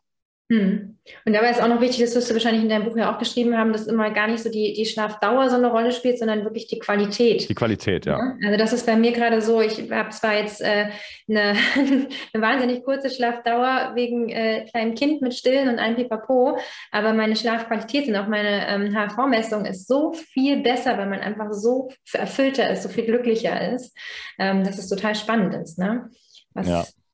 Ja, genau. Gut, dass du mich an das Kind erinnerst, dass wir schaffen, den zeitlichen Rahmen nicht zu sprengen. Aber es sind, sind so viele große Themen. Ähm, jetzt mal ein paar rauspicken. Was ist denn mit Umweltgiften, deiner Meinung nach? Äh, da sind wir ja schon auch beim ganzen Thema, was wir gerade schon angesprochen haben, Cremes und alles, was man sich auf die Haut schmiert. Ne? Da noch kurz der Hinweis, alles, was mit der Haut in Berührung kommt, landet letzten Endes in jeder Zelle. Ja? Und äh, das heißt, da, wenn man normal auf die Verpackung guckt von irgendwas, womit man in Kontakt kommt, also vom Spülmittel, Putzmittel, Cremes, Duschgel und so weiter, Deo, äh, wenn man da nicht in Resonanz geht, sage ich mal, mit den äh, komischen Begriffen, die da hinten draufstehen, dann sollte man sich schon mal Fragen stellen. Ja. Ja, definitiv. Also das äh, Umweltgifte ist ein, ist ein Riesenthema. Ich finde, das ist so ein Fass ohne Boden, ne, weil es tatsächlich von bis ist. Also da kann man ja das letztendlich das Glyphosat äh, dazu zählen, ähm, ne, was wir zum einen über die Nahrung zu uns nehmen, zum anderen werden damit teilweise Bahnsteige eben auch gespritzt und so weiter. Das heißt, es ist irgendwie auch in der Luft. Ähm, da kann man jetzt auch Quecksilber, Arsen und so weiter ähm, ne, mit zum Beispiel sehen, sämtliche Schwermetalle, die eine Rolle spielen. Es ist aber auch dann eben der, der Rauch, ne, Nikotin spielt eine große Rolle. Ähm, es ist äh, auch Strahlung, würde ich dazu zählen. Ne? Es sind so viele Sachen, die da ähm, einfach eine Rolle spielen. Wir sind umgeben eigentlich nur von solchen äh, potenziellen Noxen, wie es so schön heißt. Und ja, müssen wir mal gucken, schwächenden, schwächenden Substanzen, ne? Äh, Kryptonite, ne? das schwächt uns immer mehr und ja, mit ein bisschen was, äh, nur mit dem Wi-Fi kann man wahrscheinlich ganz gut leben, wenn alles andere tippitoppi ist. Aber wenn dies und jenes und jenes und jenes, mhm. so ist das ja bei jedem, ist immer eine, eine Gemengenlage. Und dann noch die ganze natürlich Prädisposition von, von, von, von, von Traumatisierungen, von, von Genetik und so weiter. Ne? Äh, das, das wirkt ja auf jeden, auf jeden unterschiedlich und den einen zerfaltet halt komplett. Ne? Ich mhm. hatte selber sechs Jahre chronische Müdigkeit, aber da gibt es auch noch viel schlimmere Fälle ne? mit, mit, mit MCS und so weiter. Ne? Das ist ja richtig der Horror dann. Mhm. Ja, es ist dann das, was das berühmte Fass zum Überlaufen bringt. Und wie du gesagt hast, es ist ähm, ne, die, auch die Menge und die vielen verschiedenen ähm, Gifte sozusagen kommt es darauf an und wie gut unser Körper aufgestellt ist. Ne? Wenn ich dann eben noch einen Vitaminmangel habe, dann kann ich eben schlechter entgiften, logischerweise. Ähm, das sind alles so diese Faktoren. Ähm, von daher kann man bei fast allen Erkrankungen das immer auf so gewisse Kategorien runterbrechen und Umweltgifte ist definitiv ein Thema, äh, worauf man ein Auge ähm, machen sollte. Das heißt auch bei der Diagnostik, beim Schuppenflechte-Patienten, wenn ich mit meinen vorhin genannten Sachen überhaupt nicht weiterkomme, auch dann ist eben mal, dass man da mal guckt, Schwermetallanalyse und generell ne, diese ganzheitliche Analyse Anamnese, dass man auch mal fragt, hm, wo lebt derjenige denn? Ne? Ist da nebenan mhm. irgendwas, was äh, ähm, irgendwelche ähm, Schadstoffe auspustet? Ne? Dann müsste man eben auch mal über äh, grundlegende Lebensänderungen sprechen. Ja, dann ist die das Therapie natürlich langwierig, weil äh, Entgiften dauert seine Zeit oder ist eigentlich eine Lebensaufgabe. Ich würde sagen, wir unterbrechen nochmal die Episode, äh, weil ich will deine Zeit, deine Zeit im Blick haben und ich möchte aber unbedingt nochmal so auf das ganze Thema IgG, Darm, Gesundheit und so auf jeden Fall eingehen, bisschen Psyche mit reinbeziehen. Äh, ich denke, das sind noch ganz, ganz, ganz, ganz wichtige Punkte. Ich freue mich auf den dritten Teil mit dir. Mach's gut. Ciao. Der Darm ist die Wiege der Gesundheit. Ich weise immer wieder darauf hin, dass es aus meiner Perspektive notwendig ist, sich kontinuierlich um die Gesundheit des Darms zu kümmern. Die Bakterien in deinem Darm bilden den Großteil deines Immunsystems, produzieren Vitamine, Neurotransmitter wie Serotonin und Melatonin und sorgen damit auch für dein Wohlgefühl und deine innere Ausgeglichenheit. Gut Care von Brain Effect enthält 13 Milliarden lebende Bakterienkulturen, die dir helfen, deine Darmflora aufzubauen. So bekommst du Blähungen, Bauchschmerzen und Verdauungsprobleme in den Griff. Gut Care steht auf der Kölner Liste für geprüfte Lebensmittel und enthält außerdem noch Calcium, Eisen, Vitamin B6 und Vitamin B12. Jede Investition in die Gesundheit deines Darmes lohnt sich. Und das Beste ist, mit dem Gutscheincode BIO360 bekommst du einen satten Rabatt auf deine Bestellung. Den Link findest du wie immer in den Show Notes. Schenke jetzt deinem Darm etwas mehr Liebe und du wirst es nicht bereuen. Hallo ihr Lieben und herzlich willkommen zu Bio360. Das ist der dritte Teil von meinem Gespräch mit Dr. Konstanze Lose. Hallo Konstanze. Hallo. Wir sprechen über Psoriasis, Hautkrankheiten generell, äh, würde ich sagen. Und wir sind so ein bisschen dabei, so die ganzen Faktoren äh, mal auszubreiten. Du hast schon sehr vieles genannt. Ich würde noch mal so ein bisschen gerne ins Detail gehen, ähm, was so Nahrungsmittelunverträglichkeiten, Darm, so diese ganze, ne, äh, wir hatten über Glyphosat und so gesprochen. Das ist ja auch äh, Dinge, die alle zusammengehören. Äh, ich habe schon vor, als ich angefangen habe, als ich noch chronisch müde war und so, dann kamen schon Leute zu mir, weil ich dann schon so ein bisschen so ein Gesundheitsfreak war. also der kranke Gesundheitsfreak sozusagen sagen.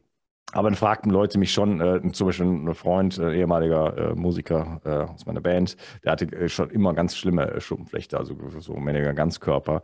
Ne? Und dann habe ich halt dann irgendwann mal empfohlen, dann wenigstens mal auf Milchprodukte und so zu verzichten. Ne? Und das war dann schon bei den Leuten, die ich das empfohlen habe, war das schon eine, dramatische Verbesserung. Dann habe ich, das ist jetzt eigentlich nochmal ein anderes Thema, ich habe selber, irgendwann mal hatte ich mal die ganzen Hände voll weiß ich noch, da war ich ein junger Musiker auch, äh, plötzlich. Und dann habe ich äh, Eigenurintherapie gemacht. Da habe ich wirklich sechs Wochen lang meinen Urin getrunken und, und äh, topisch sozusagen. Und äh, dann war das war's weg. Hm. Ja, und auch die Leute, denen ich das empfohlen habe, die das ganz schlimm hatten, die haben damit auf jeden Fall so, so 80, 90 Prozent Verbesserung erzielt. Wie, hm. kann das, wie kann das denn sein? Ja, das ist ganz spannend. Also zum einen, das extern aufzutragen auf die Haut, da ist einfach Urea drin, ne, Harnstoff letztendlich. Und da gibt es ja auch nicht umsonst die teuren Cremes, wo das mit drin ist. Also auch billiger. Man kann es billiger machen, absolut. Viele Leute haben da nur eher ein bisschen Hemmung, sowas zu machen. Und das mit dem äh, Trinken ist äh, auch eine, eine, spannende Geschichte. Das ist ja ähnlich, wie man das auch kennt mit dem äh, Autovakzin. Ich weiß nicht, ob du das auch schon kennst, ne, dass man letztendlich, wenn man so Darmanalysen hat, ähm, dass man aus dieser Studie Stuhlprobe eben auch ähm, eine Art ähm, ja, Tablette oder Kapsel raus isoliert, um sozusagen dem eigenen Körper das Immunsystem in dem jetzigen Zustand ähm, als Tablette wieder zuzuführen. Das ist ähnlich das Prinzip wie mit dem Urin. Du gibst quasi die, du, du gibst nochmal einen Reiz, ne? Viel in der Naturheilkunde heißt, gibt es ja Reiz und Reaktion, ne? Und du gibst quasi dieses, diesen, diese Fehlsteuerung, ähm, die quasi sowohl in den Stuhlprodukten ähm, sind, die da eben raus, also man isst dann keinen Stuhl, so ist es nicht, sondern es wird daraus alles so fein säuberlich extrahiert, ähm, die quasi diese Immuninformation, genau wie mit dem Urin. Ähm, da sind ja Informationen vom Körper drin ähm, und das läuft sozusagen fehl, ähm, weil das ähm, Immunsystem fehlgesteuert ist. Und wenn du das dann isst, zuführst, dann ist es, als ob dem Körper ein Spiegel vorgehalten wird. Und ähm, dann kann er darauf reagieren. Ne? Deswegen wirkt zum Beispiel die Eigenurintherapie und eben auch diese Autovaccine, was so ein bisschen die, ich sag mal, elegantere Methode ist, wo man quasi Kapseln hat, die aber letztendlich so hergestellt sind, dass das eigene Immunsystem ein ähm, quasi wiedergespiegelt wird und dass man darauf reagieren kann. Mhm. Spannend, habe ich noch nie gehört, aber ob man jetzt irgendwie äh, sein eigenes Urin trinkt, also ich habe dann immer so ein bisschen Eiswürfel reingetan oder so, dann weg und dann ne, irgendwie dahinterher dann Wasser und so oder ob man Kackkapseln essen möchte, weiß ich jetzt nicht. Naja, also was das, da besser ist. Das ist, wie gesagt, alles hoch aufbereitet. Da sind dann quasi die Bakterien alles raus isoliert. Das hat nicht mehr viel mit dem eigentlichen Stuhlgang zu tun, aber es wird daraus hergestellt und man kann da eben auch äh, nicht nur Kapseln, sondern man kann da auch Nasenspray zum Beispiel herstellen. Es geht um die Information, die da drin ist. Ne?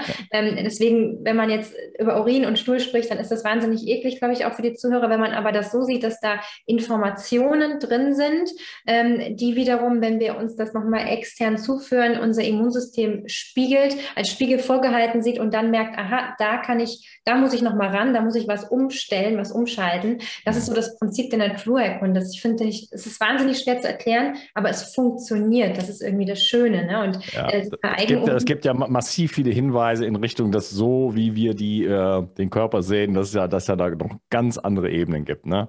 Absolut, absolut. So, ne? Und äh, Eigenurintherapie ist was ganz Altes. Ne? Das ist ja jetzt nicht, dass wir es jetzt neu erfunden haben, sondern so haben früher ganz viele ihre Beschwerden ähm, gelindert. Ja, das ist so eine Art Eigenhomöopathie. Ne? Das ja, so, kann man sagen. Du sagst so eine Art Spiegel, so du kriegst genau das, was du brauchst. Äh, also das ist schon spannend.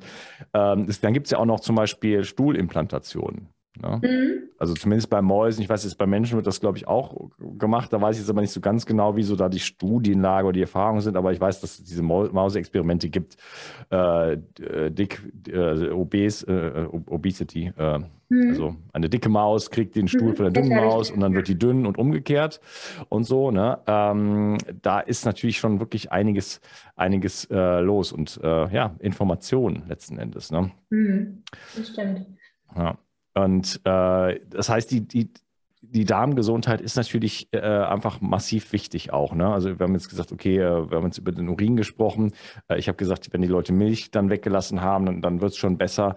Äh, also hältst du das für sinnvoll, mal so ein, äh, also ich habe hier einen Podcast mal gemacht und äh, gibt es auch ein Angebot, äh, komplett IgG, ne, wo man äh, IgG 1 bis 4 sozusagen kom kombiniert hat. Das ist, was ich jetzt schon ein paar Mal gemacht habe. Und das ist halt wirklich, also ich meine, ich habe jetzt mal das Experiment gemacht, ein Jahr, ich esse einfach mal alles, geht irgendwie auch, aber ganz, wenn ich ganz ehrlich bin, sehe ich es im Spiegel so.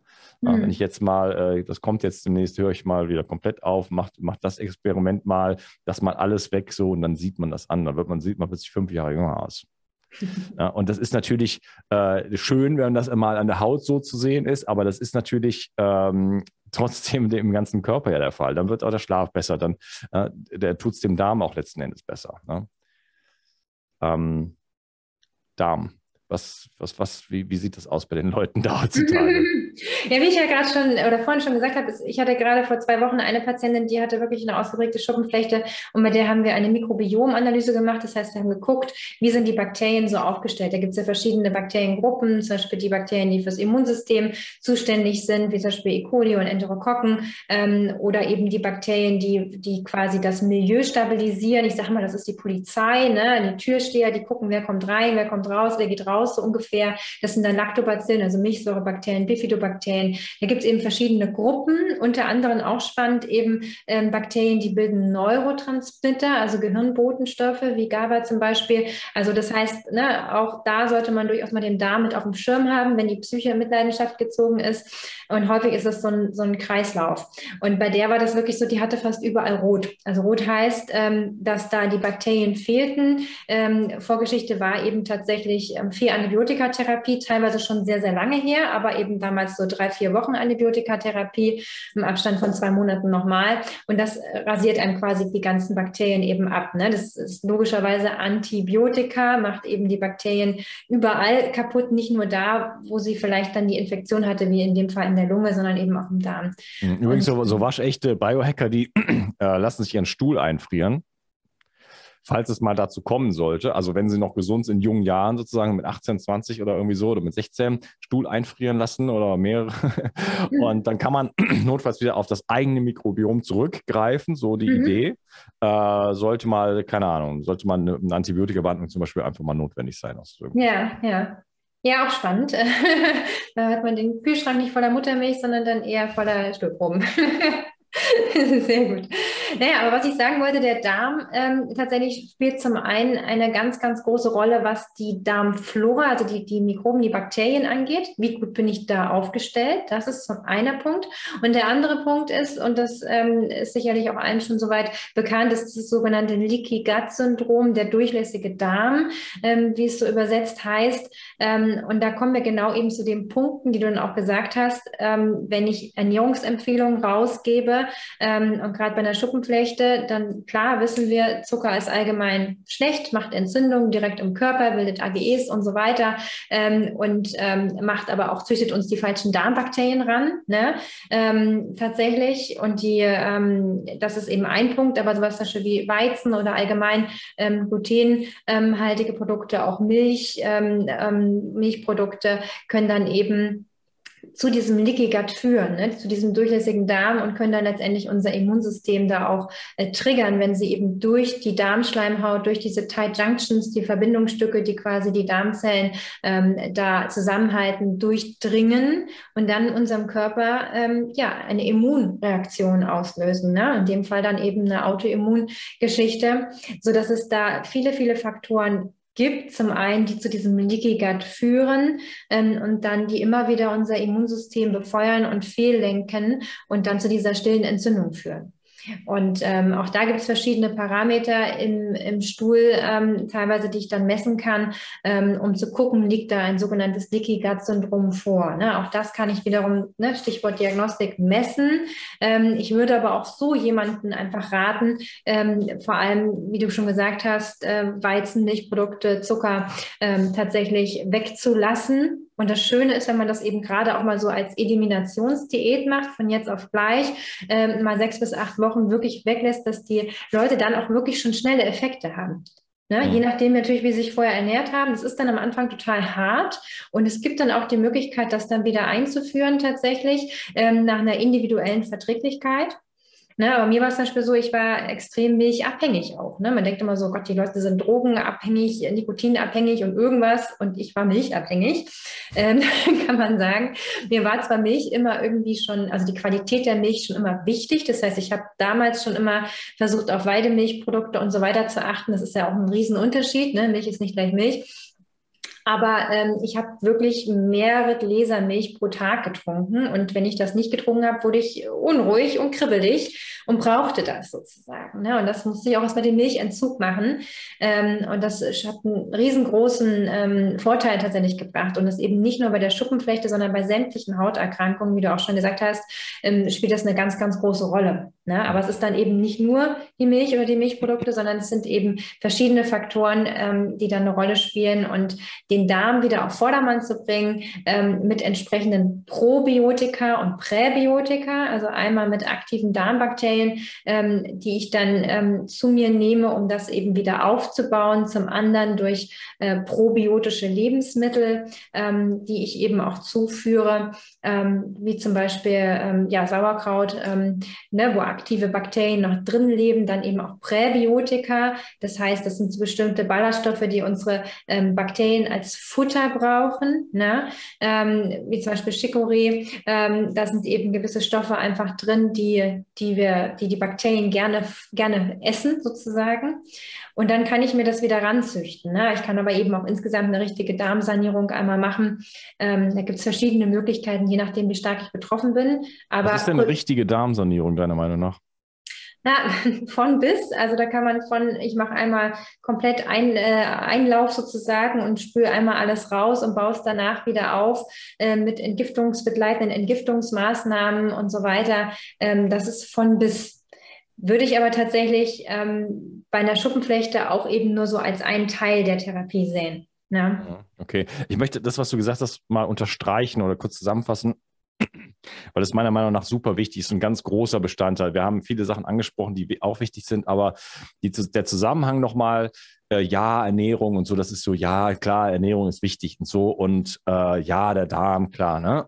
Also, wenn du irgendwie Probleme mit deiner Haut hast und zu, du Toilettenpapier brauchst, ne, dann hast das schon einen ersten Hinweis darauf, dass äh, eventuell das, äh, das eine mit dem anderen was zu tun haben könnte.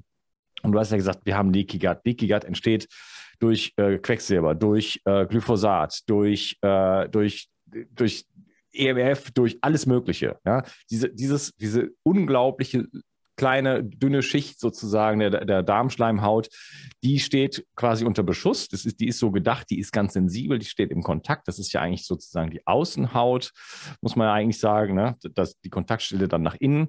Und äh, die ist halt einfach sehr sensibel und das ist auch so gedacht. Aber äh, in unserer heutigen Welt ähm, wirkt halt alles darauf ein. Und dann, wenn wir, wenn wir uns dann halt so ernähren, dass dort ständig Entzündung entsteht, äh, un, äh, unverdaute Proteine dann irgendwie über den Leaky Gut ins Blut gelangen, dort da, dann kommt es da nochmal zur Entzündung. Also viele der IgG-Geschichten entstehen ja überhaupt erst durch Leaky Gut. Ne? Das sind ja nicht die bösen Nahrungsmittel, bei Gluten kann man diskutieren. Und ob eine A1-Kuhmilch äh, irgendwie jetzt eine gute Sache ist, äh, ne, kann man auch drüber diskutieren. Da sind wir aber wahrscheinlich dann auch wiederum individuell.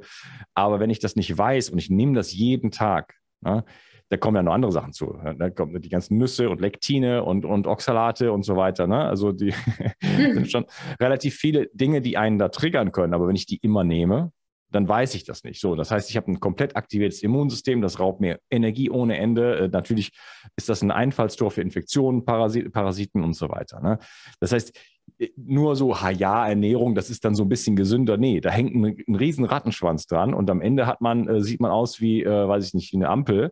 Ja, äh, aber das ist ja nur ein, nur, nur ein Ausdruck davon, von, von, von Darmgesundheit und vielleicht auch von einer gewissen Toxizität oder ne, einer Entzündlichkeit, wo der Körper sagt, ich weiß nicht, wo ich es noch, wo ich es überhaupt noch hinbringen soll. Hm hier ist ein Alarmsignal. Ich mache jetzt einfach mal hier irgendwie rotes Lämpchen. Vielleicht änderst du mal was. Ja, das ist wie am Auto, ne? Wenn da irgendwas ein rotes Lämpchen angeht, dann bringt es nichts, wenn ich das rote Lämpchen einfach ausschalte, sondern ich muss vielleicht gucken, wo ist es und wo kann ich da direkt was tun.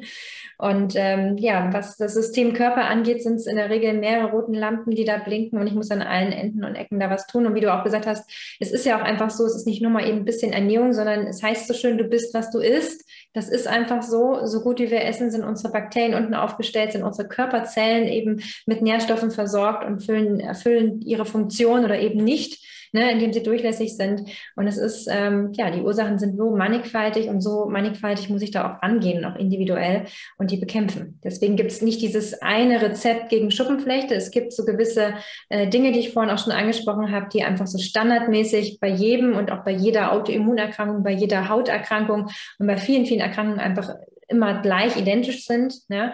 dass ich eben unverarbeitete Lebensmittel bevorzugen soll und was wir besprochen haben, Bewegung, Stress, Schlafmanagement, auf den Darm aufpassen und solche Sachen. Ähm, und dann gibt es eben nochmal so ein paar Feinheiten, die man dann individuell mit den Patienten herausarbeitet. Mhm, genau.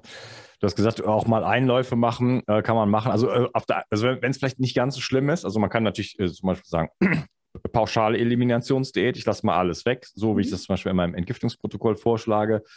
Äh, der teurere Weg wäre, ich mache einen Test und lasse dann alles äh, gezielt weg. Ne? Äh, es gibt auch diese ganzen Hardcore-Wege, äh, Gaps Diet und so weiter. Also erstmal irgendwie vier Wochen Knochenbrühe und dann äh, nur Karotte und dann mal mhm. schauen mhm. und so. Ne? Das dauert dann jahrelang, bis man wieder alles, alles integriert hat.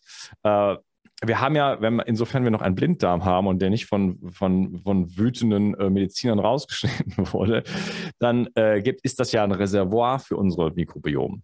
Ja, da hat die Natur sich auch ein bisschen was bei gedacht, sodass man auch einen Einlauf damit auch klarkommt oder auch mal eine Antibiotikakur. Das ist natürlich schon ein anderer Tobak, aber trotzdem, es gibt dann Reservoir, wenn man jetzt keine Stuhlprobe sich irgendwo eingefroren hat, wo dann sich das auch wieder bilden kann. Ne? Und wir können uns ja auch wieder neu besiedeln lassen. Also manchmal, ich denke, wenn man es noch nicht so ganz so schlimm ist, dann kann man äh, sanfte Wege gehen und natürlich irgendwie versuchen, immer gesünder und gesünder zu werden. Aber manchmal ist es vielleicht auch gut, so ein Reset zu machen, das ein bisschen Hardcore-Weg ist, aber vielleicht mal eine Woche fasten oder zwei. Mal richtig auf Null gehen, äh, auch äh, vielleicht äh, Pilze und Candida und so weiter erstmal austrocknen. Ne? Das ist ja auch nochmal ein Thema, gerade wenn ich viel Zucker esse und so weiter. Und dann eigentlich quasi wieder neu aufbauen. Das ist nicht immer nur ein Spaß, ein Spaziergang, das ist kein, äh, kein Buffet, ein Picknick, aber äh, ich glaube, das, das kann auch ein guter Weg sein, um dann mal wirklich zu sagen, okay, ich mache jetzt mal ähm, äh, Nägel mit Köpfen sozusagen, weil ich meine, wenn der, der Leidensdruck ist ja enorm, so eine, so eine, so eine Schuppenflechte oder sogar Neurodermitis, das ist ja, ist ja kein Spaß und gerade auch bei Kindern. Wie sieht es denn bei Kindern aus? Da kann ich ja nicht sagen, du fasst jetzt mal irgendwie zwei Wochen. Was macht man denn da?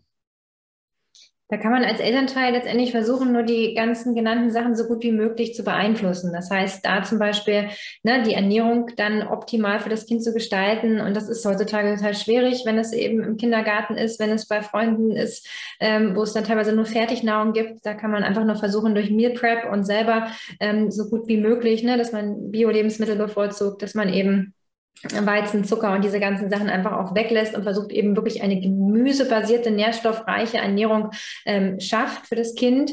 Ähm, man kann aber auch da schon gut auch mit Mikronährstoffen arbeiten, ne? auch mit Vitamin D, Omega-3 wäre für mich die Basis, ähm, gegebenenfalls eben noch Zink, ne? Zink auch für die Haut ganz entscheidend, dass ich da eben ähm, arbeite und dass ich versuche, das Kind so, so gut es geht von sämtlichen Umweltgiften natürlich abzuschirmen, ne? dass ich darauf achte, ähm, Probiotika, auch da wunderbar fürs Kind, das kann man sogar sogar schon mit ganz kleinen Babys machen, ne, dass man die da unterstützt, dass man den damit unterstützt, gerade wenn es eben ne, aus un, Gründen irgendwie dann doch zu Kaiserschnitt oder Ähnlichem kam, kann man eben da direkt auch ähm, anknüpfen, das Mikrobiom, also die Darmflora aufzubauen. Das sind alles Sachen, die kann ich machen. Ne? Und auch beim Omega-3 ist die Studienlage eben sehr, sehr gut, dass ich weiß, ähm, Kinder, die eben gut mit Omega-3 versorgt sind, die bekommen eben deutlich weniger Ekzeme, Neurodermitis und Schuppenflechte und andere Hauterkrankungen und auch und ADHS und so weiter. Und das sind ja praktisch alle. Also ich habe meine Tochter zum Beispiel getestet, 16 zu 1. Ne? Sollte 1 zu 1 sein oder 1 zu 3 maximal, 16 zu 1. Ne? ja, ja. Ja, das ist schon. Und also gerade bei den Kindern, die brauchen das noch mehr. Die wollen natürlich keine Entzündung haben, die wollen natürlich auch eine schöne Haut haben. Meine Tochter ist gerade in die Pubertät gekommen. Äh, lass mal die Glocken läuten an dieser Stelle. ich, dachte, ich, dachte, das passiert nicht. Und jetzt ändert sich wirklich einiges. Das ist erstaunlich. Aber ähm, so, jetzt ist Haut dann plötzlich ein Ding. Ne? Und mhm. äh, ja, ja, und Kosmetik, ne? Also das ist ja dann in dem Thema auch, also in dem Alter auch sehr interessant, ne, wenn es dann losgeht mit äh, Schminken und so weiter und ähm, ne, duftenden äh, Hautlotions, dass man da eben auch versucht, das Kind so gut wie möglich äh, aufzuklären, ne? dass es eben doch eine Rolle spielt, was ich da draußen drauf schmiere und die fünf Make-up-Schichten, dass die dann doch was mit mir machen. Ähm, und dass man auch, finde ich, man kann das als Elternteil immer nur vorleben. Ne? Ich, kann, ich kann wirklich einen gesunden Lebensstil auch meinen Patienten gegenüber, ich kann immer nur sagen, ich kann das vorleben, ich muss authentisch sein, ähm, und hoffe, dass das Kind das dann übernimmt und dass ich eben die Gegebenheiten zu Hause so schaffe, dass dann einfach alles da ist und eben gewisse Dinge, ähm, dass, das, dass das Kind eben aufgeklärt ist, dass das nicht gut für einen ist und ähm, dass man das so weitergibt als Vorbild. Ja, ja. vorleben und äh, Angebote machen, oder? Ja. Auch dann ab, ab einem bestimmten Zeitpunkt, also wenn es bald das Kind zwei ist, dann, dann wird es vorgegeben, aber meine Tochter ist jetzt 13, äh, da kann ich sagen, du kannst, kannst dich da oder dafür entscheiden. Das ist dein, du kannst den ganzen Tag am Handy hängen. Jetzt hat sie ein Handy, war gegen meinen Willen, aber jetzt hat sie eins. Also ich glaube, ich habe sie letztens mitgetragen, aber jetzt ist das schon, schon auch problematisch. Ne? So mhm. kannst den ganzen Tag das machen oder wir, äh, weiß nicht, machen eine Motorradtour durch die Pyrenäen. It's your choice. Mhm. oder du lernst äh, Italienisch oder was weiß ich. Ne? Mhm. Es gibt ist immer, also Angebote machen ne, für, die, für die Kinder oder Jugendlichen, dann äh, dass es Wahlmöglichkeiten gibt. Ne? Du kannst die Chips essen, nur äh, kommen mir dann morgen nicht und jetzt hat sie nämlich so kleine Pickelchen. Mhm. Äh, ja, und sagt, das ist ganz schrecklich und so. ich sag, ja. Äh, ich musste jeden Tag muss ich dir das, das Omega-3-Öl irgendwie mehr oder weniger reinzwingen. Die macht da mal ein bisschen mhm. Drama drum. Und äh, das hat was damit zu tun, meine Liebe. Ja, Definitiv. Ja, definitiv. Ne? Und dann kann man eben mit Kindern auch, was wir jetzt noch gar nicht angesprochen haben, wahrscheinlich aufgrund der Kürze der Zeit eben auch äh, schwierig ist, aber es gibt eben auch noch so Klimatherapien, ne? dass ich eben versuche, dann ähm, Urlaub zum Beispiel ne, an der See zu machen, dass ich dort das Meersalz habe. Das sind ja auch ganz tolle Sachen ne, für, die, für die Haut, was ich machen kann. Ja. China, man kann auch viel mit ne, Meersalzbädern und so weiter. Also da kann man auch was machen, Basenbäder. Also da gibt es noch so viel mehr, was man eben auch noch machen kann. Ne? Säurebasenhaushalt. Trinkmoor nehmen für den Darm. Äh, überhaupt immer die Natur wieder suchen. Ja. Auch, auch sich das, also sagen wir mal, man macht, äh, man würde eine Rosskur machen, so äh, einmal irgendwie Reset, könnte sogar noch CDL irgendwie Einläufe machen oder so. Dann hat man nichts mehr da. Und dann steht man erstmal blöd da und sich jetzt wieder besiedeln lassen, in den Wald mal gehen. Mhm. dort die Dinge anfassen, einatmen, äh, alles anfassen, ähm, umarmen. Ja, Zach mhm. Bush, Dr. Zach Bush, den hatte ich mal vor zwei Jahren im Podcast, da fing das gerade mit C an und dann sagte, es gibt eine Studie, dass ähm, wenn man, ich glaube, siebenmal am Tag umarmt wird, dann 70 Prozent geringeres Risiko für eine, für eine Infektionskrankheit hat. Mhm. Ja, Austausch, ne? in, ja. der, in die Welt wieder umarmen und damit in Austausch gehen und natürlich mit der Natur und mit den, mit den, mit den Lebewesen. Äh, vor allen Dingen mit den Menschen und ja gut, bei Tieren kann man darüber diskutieren, dass da auch mal was sein kann, aber na, ne, da sollte man sich nicht vor, vor fürchten, so, das ist ja populär geworden, sich vor allem zu fürchten. Das ist ja auch gedacht. Ähm, aber ähm, ja, das wieder zu suchen und sich da besiedeln zu lassen. Ne? Und mhm. dann wird der Darm auch letzten Endes wieder besiedelt und die Dinge auch einfach mal so zu essen. Und man muss nicht immer alles so, wer weiß wie abwaschen und so weiter. Ne? Fermentieren. Nur um die Pestizidraückstände zu entfernen. ja, die, ja, die sollten natürlich möglichst da sowieso nicht drauf sein. Im Idealfall, ja. Ja, man kann sehr, sehr viele Sachen fermentieren, auch mal stehen mhm. lassen und so weiter. Ja, die, nicht alles desinfizieren, bitte. Ne? Mhm. Dass die Kinder eben auch mal wieder im Dreck spielen dürfen, solche Sachen. Also man kann es eigentlich mal so, finde ich, ein bisschen kurz fassen, dass man sagt, so leben auch wieder im Einklang mit der Natur, ne? so wie es war. Ähm, das ist so eine Sache. Aber ich weiß nicht, wie es dir geht. Bei mir fällt auf jeden Fall auf, ähm, ich predige ja quasi recht viel ne, über gesunde Ernährung, Mikronährstoffe ähm, und so weiter. Ähm, aber das zu erzählen und das zu wissen, ist eine Sache. Das Umsetzen ist eben nochmal was anderes. Ne? Das ist eben so die Geschichte. Ähm, da hast du schon gesagt, es kommt auf den Leidensdruck äh, drauf an, es kommt auf die Motivation drauf an. Und was ich aber so ein bisschen jetzt gemerkt habe, ist eigentlich, dass ich schon so ein bisschen meinen Beruf verfehlt habe als Ärztin, ähm, mhm. indem ich ja einfach immer Wissen versuche zu vermitteln und ähm, versuche das ja auch in Vorträgen und so weiter ähm, den, den Menschen rüberzubringen. Aber eigentlich müsste man eher Verhaltenscoach werden. Ich weiß nicht, wie es dir geht, aber man müsste eigentlich, manchmal würde ich die Patienten immer rütteln und sagen, jetzt mach doch mal. Ne? Ähm, aber sie machen es einfach nicht, weil so viele Hindernisse da sind. Das ist ich, der Ehemann, der einfach nicht mitmacht, der die ganze Zeit die Chips dann holt, ne? solche Sachen ähm, oder eben raucht. Und ähm, deswegen finde ich dieses gesunde Gewohnheiten implementieren, das ist eigentlich so das tatsächlich, was ich gemerkt habe, was eigentlich so der, der Schlüssel ist. Ne? Neben dem ganzen Wissen, was ich machen kann, ich kann eine Schwefelkur machen und irgendwas, ne? alles so fancy Zeug, aber eigentlich ähm, muss ich mein, mein Leben so umkrempeln, dass ich die gesunden Gewohnheiten ähm, tatsächlich äh, ja, implementiere und dass es mir dann auch nicht mehr schwer fällt, weil wie du schon gesagt hast, am Anfang machen wir vielleicht eine Eliminationsdiät, wir machen dies und jenes, um das alles einmal so ein Reset zu machen, zu durchbrechen, aber langfristig wollen wir irgendein Leben haben, ähm, womit wir gut umgehen können, wo man sich nicht nur einschränkt. Und das ist eben das Schönste, wenn man dann gesunde Gewohnheiten eben implementiert in sein Leben, dass man gar nicht mehr drüber nachdenken muss, muss ich jetzt morgens Vitamin D einnehmen oder Omega-3 einnehmen, sondern es ist automatisiert ne? und somit kostet es keine Entscheidungsenergie mehr und ähm, das habe ich einfach so gemerkt, dass das noch fast viel wichtiger ist, sich Stück für Stück gesunde Gewohnheiten anzueignen, als nur das reine Wissen tatsächlich. Ja, ich, ich, äh, entlaste dich da ein bisschen äh, oder Le Leute wie ich, ne, dass ich, ich dass dem widme ich mich ja und äh, ich mache auch ganz viele ja, Produkte, Bücher, wo es einfach um diese grund, grundlegenden Themen einfach geht. Ne? Schlaf, überhaupt wie, gesunder Lebenswandel. Ich habe ja auch diverse äh, Produkte, ich weiß nicht, ob du die kennst hier, wo einfach wirklich ähm, massiv viele hochwertige Mikronährstoffe sind. Ich habe eine Darmkur, ich habe ein Probiotika, ist was hier drin schon mit drin ist und so weiter ich versuche Lösungen anzubieten, äh, inklusive mir selber. Ich mache das alles, äh, mach das alles selber, nehme das alles selber. Äh, aber damit es dem für den modernen Menschen, ne, damit wir mit dem oxidativen Stress umgehen können, den, für den Belastungen, den, den, dem Stress, den wir haben, dass wir mit uns mit allen Nährstoffen versorgen können. Ähm, natürlich sollten wir so gut wie möglich essen, gar keine Frage. Aber ich denke, wir haben heutzutage einfach mehr Bedarf, weil einfach der, der, der Demand sozusagen bei dem ganzen Wahnsinn sozusagen, den wir, den wir kreiert haben und den wir uns dann immer aussetzen Setzen einfach viel, viel höher ist. Und deswegen ja, würden wir schneller altern, krank werden und so weiter. Sie sehen ja, wie diese ganzen äh, chronischen Erkrankungen in die Luft schießen. Das ist ja unglaublich. Deswegen müssen wir uns meiner Meinung nach so, so weit stützen, wie es geht. So und ähm, je nachdem auch, wie wir genetisch aufgestellt sind. Aber ich möchte das auf jeden Fall für mich tun. Äh, und deswegen, ja, mache ich das halt so. Ne? Das, das, ist so mein Ding. Ich meine, du kannst natürlich auch selber deinen eigenen YouTube-Kanal noch aufmachen oder Instagram. Ich weiß nicht, ob du sowas hast, aber ne, und äh, auch noch in diese Richtung machen. Aber wir brauchen natürlich die Kombination von so Leuten wie mir und so Leuten wie dir. Ne? Denn irgendwo muss man die Leute auch mal hinschicken. Man, es kann, also diese ganzen Tipps sind äh, super gut, aber es gibt halt so viele Menschen, da ist es halt äh, nicht oder nicht mehr alleine äh, ausreichend. Die brauchen, müssen auch an die Hand genommen werden. So, okay, wir machen jetzt mal Labor XY und schauen mal, wo, wo ist jetzt wirklich, ist, was ist jetzt wirklich nötig? Oder wir müssen dich jetzt mal schneller entgiften. Du bist von oben bis unten voll mit irgendwas. Ja, da muss man einfach dann äh, schon mal auch gezielter rangehen, ne? weil vielen Leuten da draußen geht es echt schlecht. Das stimmt, das stimmt. Deswegen ist es toll, ne? Danke für deine Arbeit, die du da auch mal machst. Das ist äh, die Aufklärung und das, ähm, dass man gemeinsam eben die Menschen an die Hand nimmt und sich da auch so ein Netzwerk aufbaut. Ich glaube, das ist somit das Wichtigste. Ja, also das ist ja ein Miteinander. Ne? Also ich lebe ja auch davon, dass so tolle Leute wie du hier hinkommen und äh, ja, auch das, äh, also ne, wir haben ja, wir haben ja komplett die gleiche Ansicht auf die, auf die Dinge so letzten Endes. Ne? Und das ist ja auch wichtig, auch vielleicht das immer wieder zu hören, auch wenn es viel, viel sich in den fünf Jahren am Ende sich sicherlich viel wiederholt, aber auch immer wieder äh, mit wie, wieder einem neuen Gesichtspunkt da drauf zu schauen, so, ach ja, stimmt, ne? vielleicht sollte ich mich mal mehr um meinen Darm kümmern zum Beispiel. Aus meiner Sicht ist es ist Darmpflege.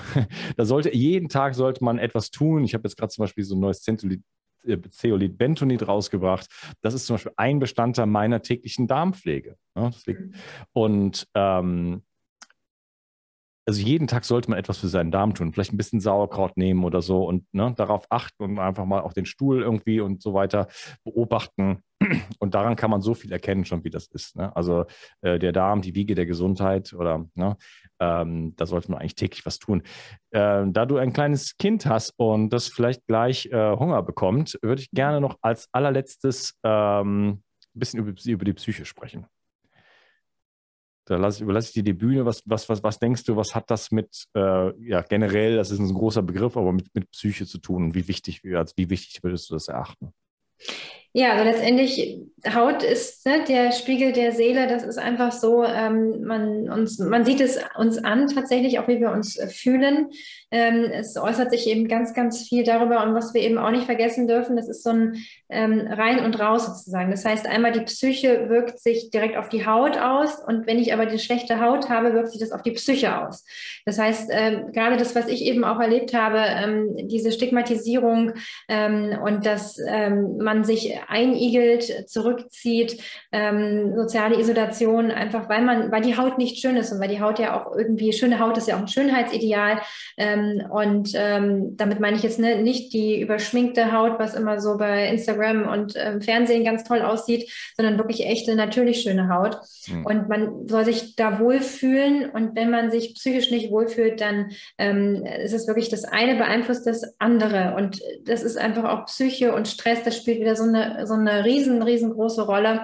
Und ähm, deswegen kann ich da auch nur jedem empfehlen. In der Naturerkunde spricht man da von der Ordnungstherapie auch, ähm, dass man auch sein Leben diesbezüglich ordnet, ähm, Gedanken, Gefühle, dass man eben auch mehr ähm, für sich tatsächlich auch macht, für die Psyche, dass man möglicherweise Dinge, die einen belasten, auch aus der Kindheit, Glaubenssätze etc., dass man eben das alles aufrollt und ähm, versucht, die Psyche, so gut es geht, zu stärken, denn dann stärke ich auch meine Hautgesundheit und wiederum auf der anderen Seite, dass ich eben auch weiß, es gibt Wege, die Haut zu verbessern, nahezu egal, welche Hauterkrankung ich habe. Ich kann immer etwas verbessern. Ich kann es in den meisten Fällen nicht heilen. Das ein Heilversprechen kann man nicht geben. Man kann das für gewöhnlich in klinische Remission bringen, ne, so wie wir immer sagen. Das heißt, es gibt keine äußeren Erscheinungsbilder.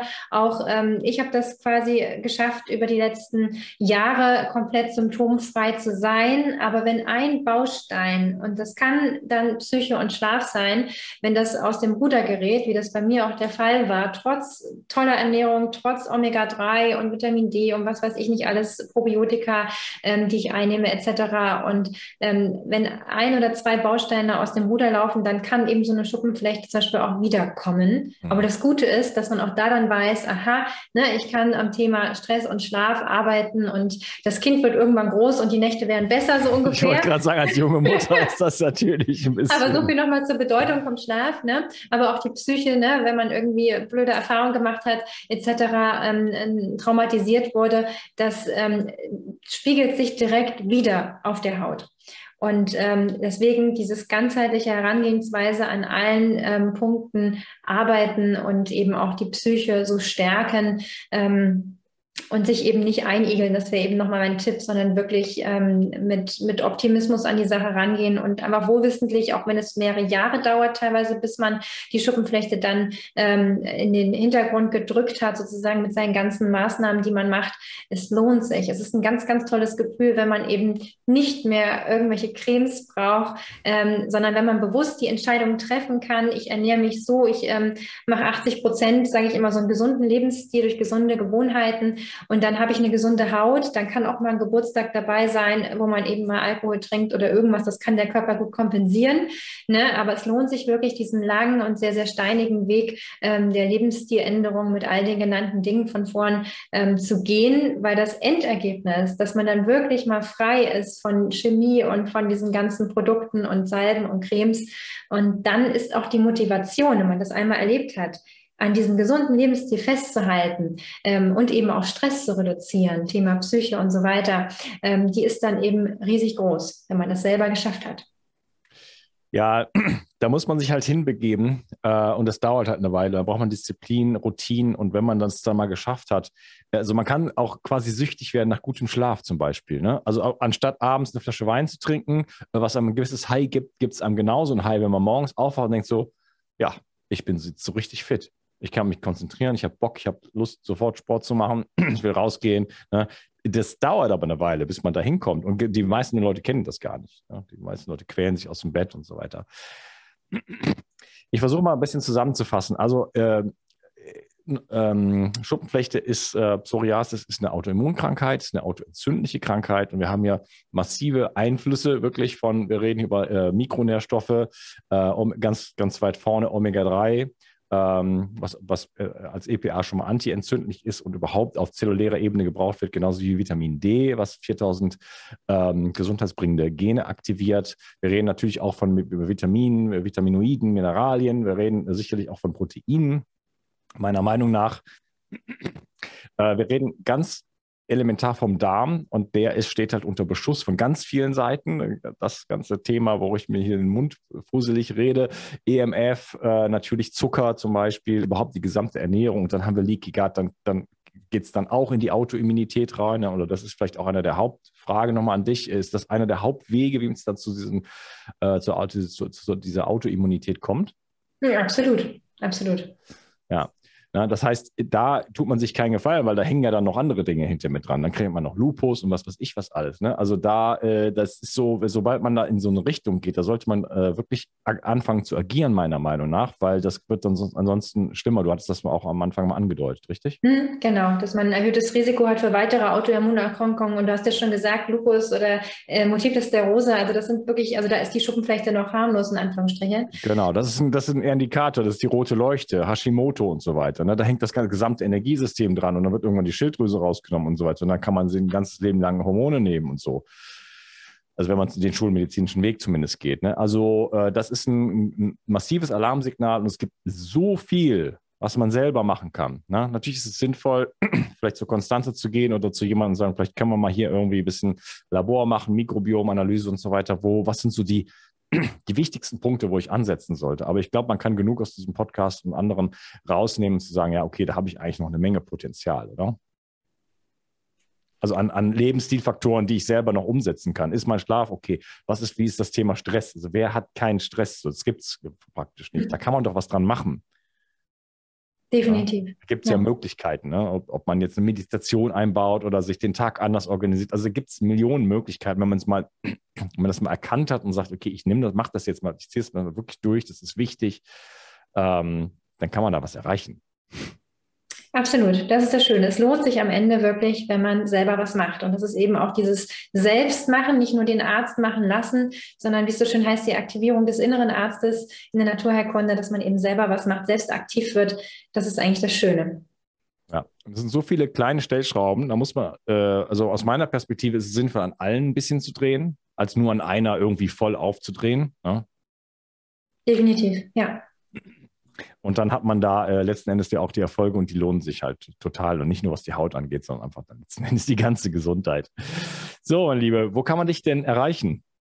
Ja, also man kann mich äh, in meiner Praxis zum Beispiel erreichen, in Norderstedt ähm, oder auch ähm, im Internet auf Instagram, Facebook und ähm, www.doc-lose.de auf meiner Webseite. Da kann man mich erreichen. Ich habe auch ein äh, Buch geschrieben kürzlich, die 10 Minuten Naturmedizin. Ähm, wie ich vorhin schon gesagt habe, wir sind ja häufig Wissensriesen und Umsetzungszwerge, wo eben neben den ähm, Kapiteln zu Ernährung, Mikronährstoffen, Bewegung, ähm, Stress, Schlaf und Leben im Einklang mit der Natur eben auch noch ein ganz, ganz wichtiges Kapitel ähm, vorweggeschaltet ist, das Gewohnheitstraining, ähm, dass man eben wirklich auch gesunde Gewohnheiten implementiert und nicht nur immer schlaues Wissen sich anliest, sondern ins Machen kommt. Und ähm, das war eben mein Ziel mit diesem Buch, das eben an ja, alle Menschen draußen ähm, das Wissen zu ermöglichen, aber auch in die ins Umsetzen zu bringen durch diese pragmatischen Tipps und ähm, ja, Routinen, gesunde Routinen, die man sich dadurch aneignen kann. Und ähm, ja, ich hoffe, dass man in Zukunft dann noch viel mehr gemeinsame Projekte machen kann, damit wir einfach noch mehr Menschen da draußen erreichen und ähm, die motivieren, selbst ihre Gesundheit in die Hand zu nehmen. Das hoffe ich auch. Ich werde alles verlinken in den Show Notes, wie immer, äh, dein Buch, äh, Instagram, Facebook, Webseite. Und äh, ja, habe mich sehr gefreut. Mich auch, vielen Dank. Vielen Dank äh, für die ja, Inspiration, hoffentlich, die wir geben konnten hier, ähm, ja, für einen gesünderen Lebensstil, ähm, für die Haut, für den Darm, für das ganze Leben. Die Kinder. Ich wünsche dir noch einen schönen Tag und äh, grüß den Kleinen von mir. Das mache ich. Vielen, vielen Dank. Mach's gut. Ciao.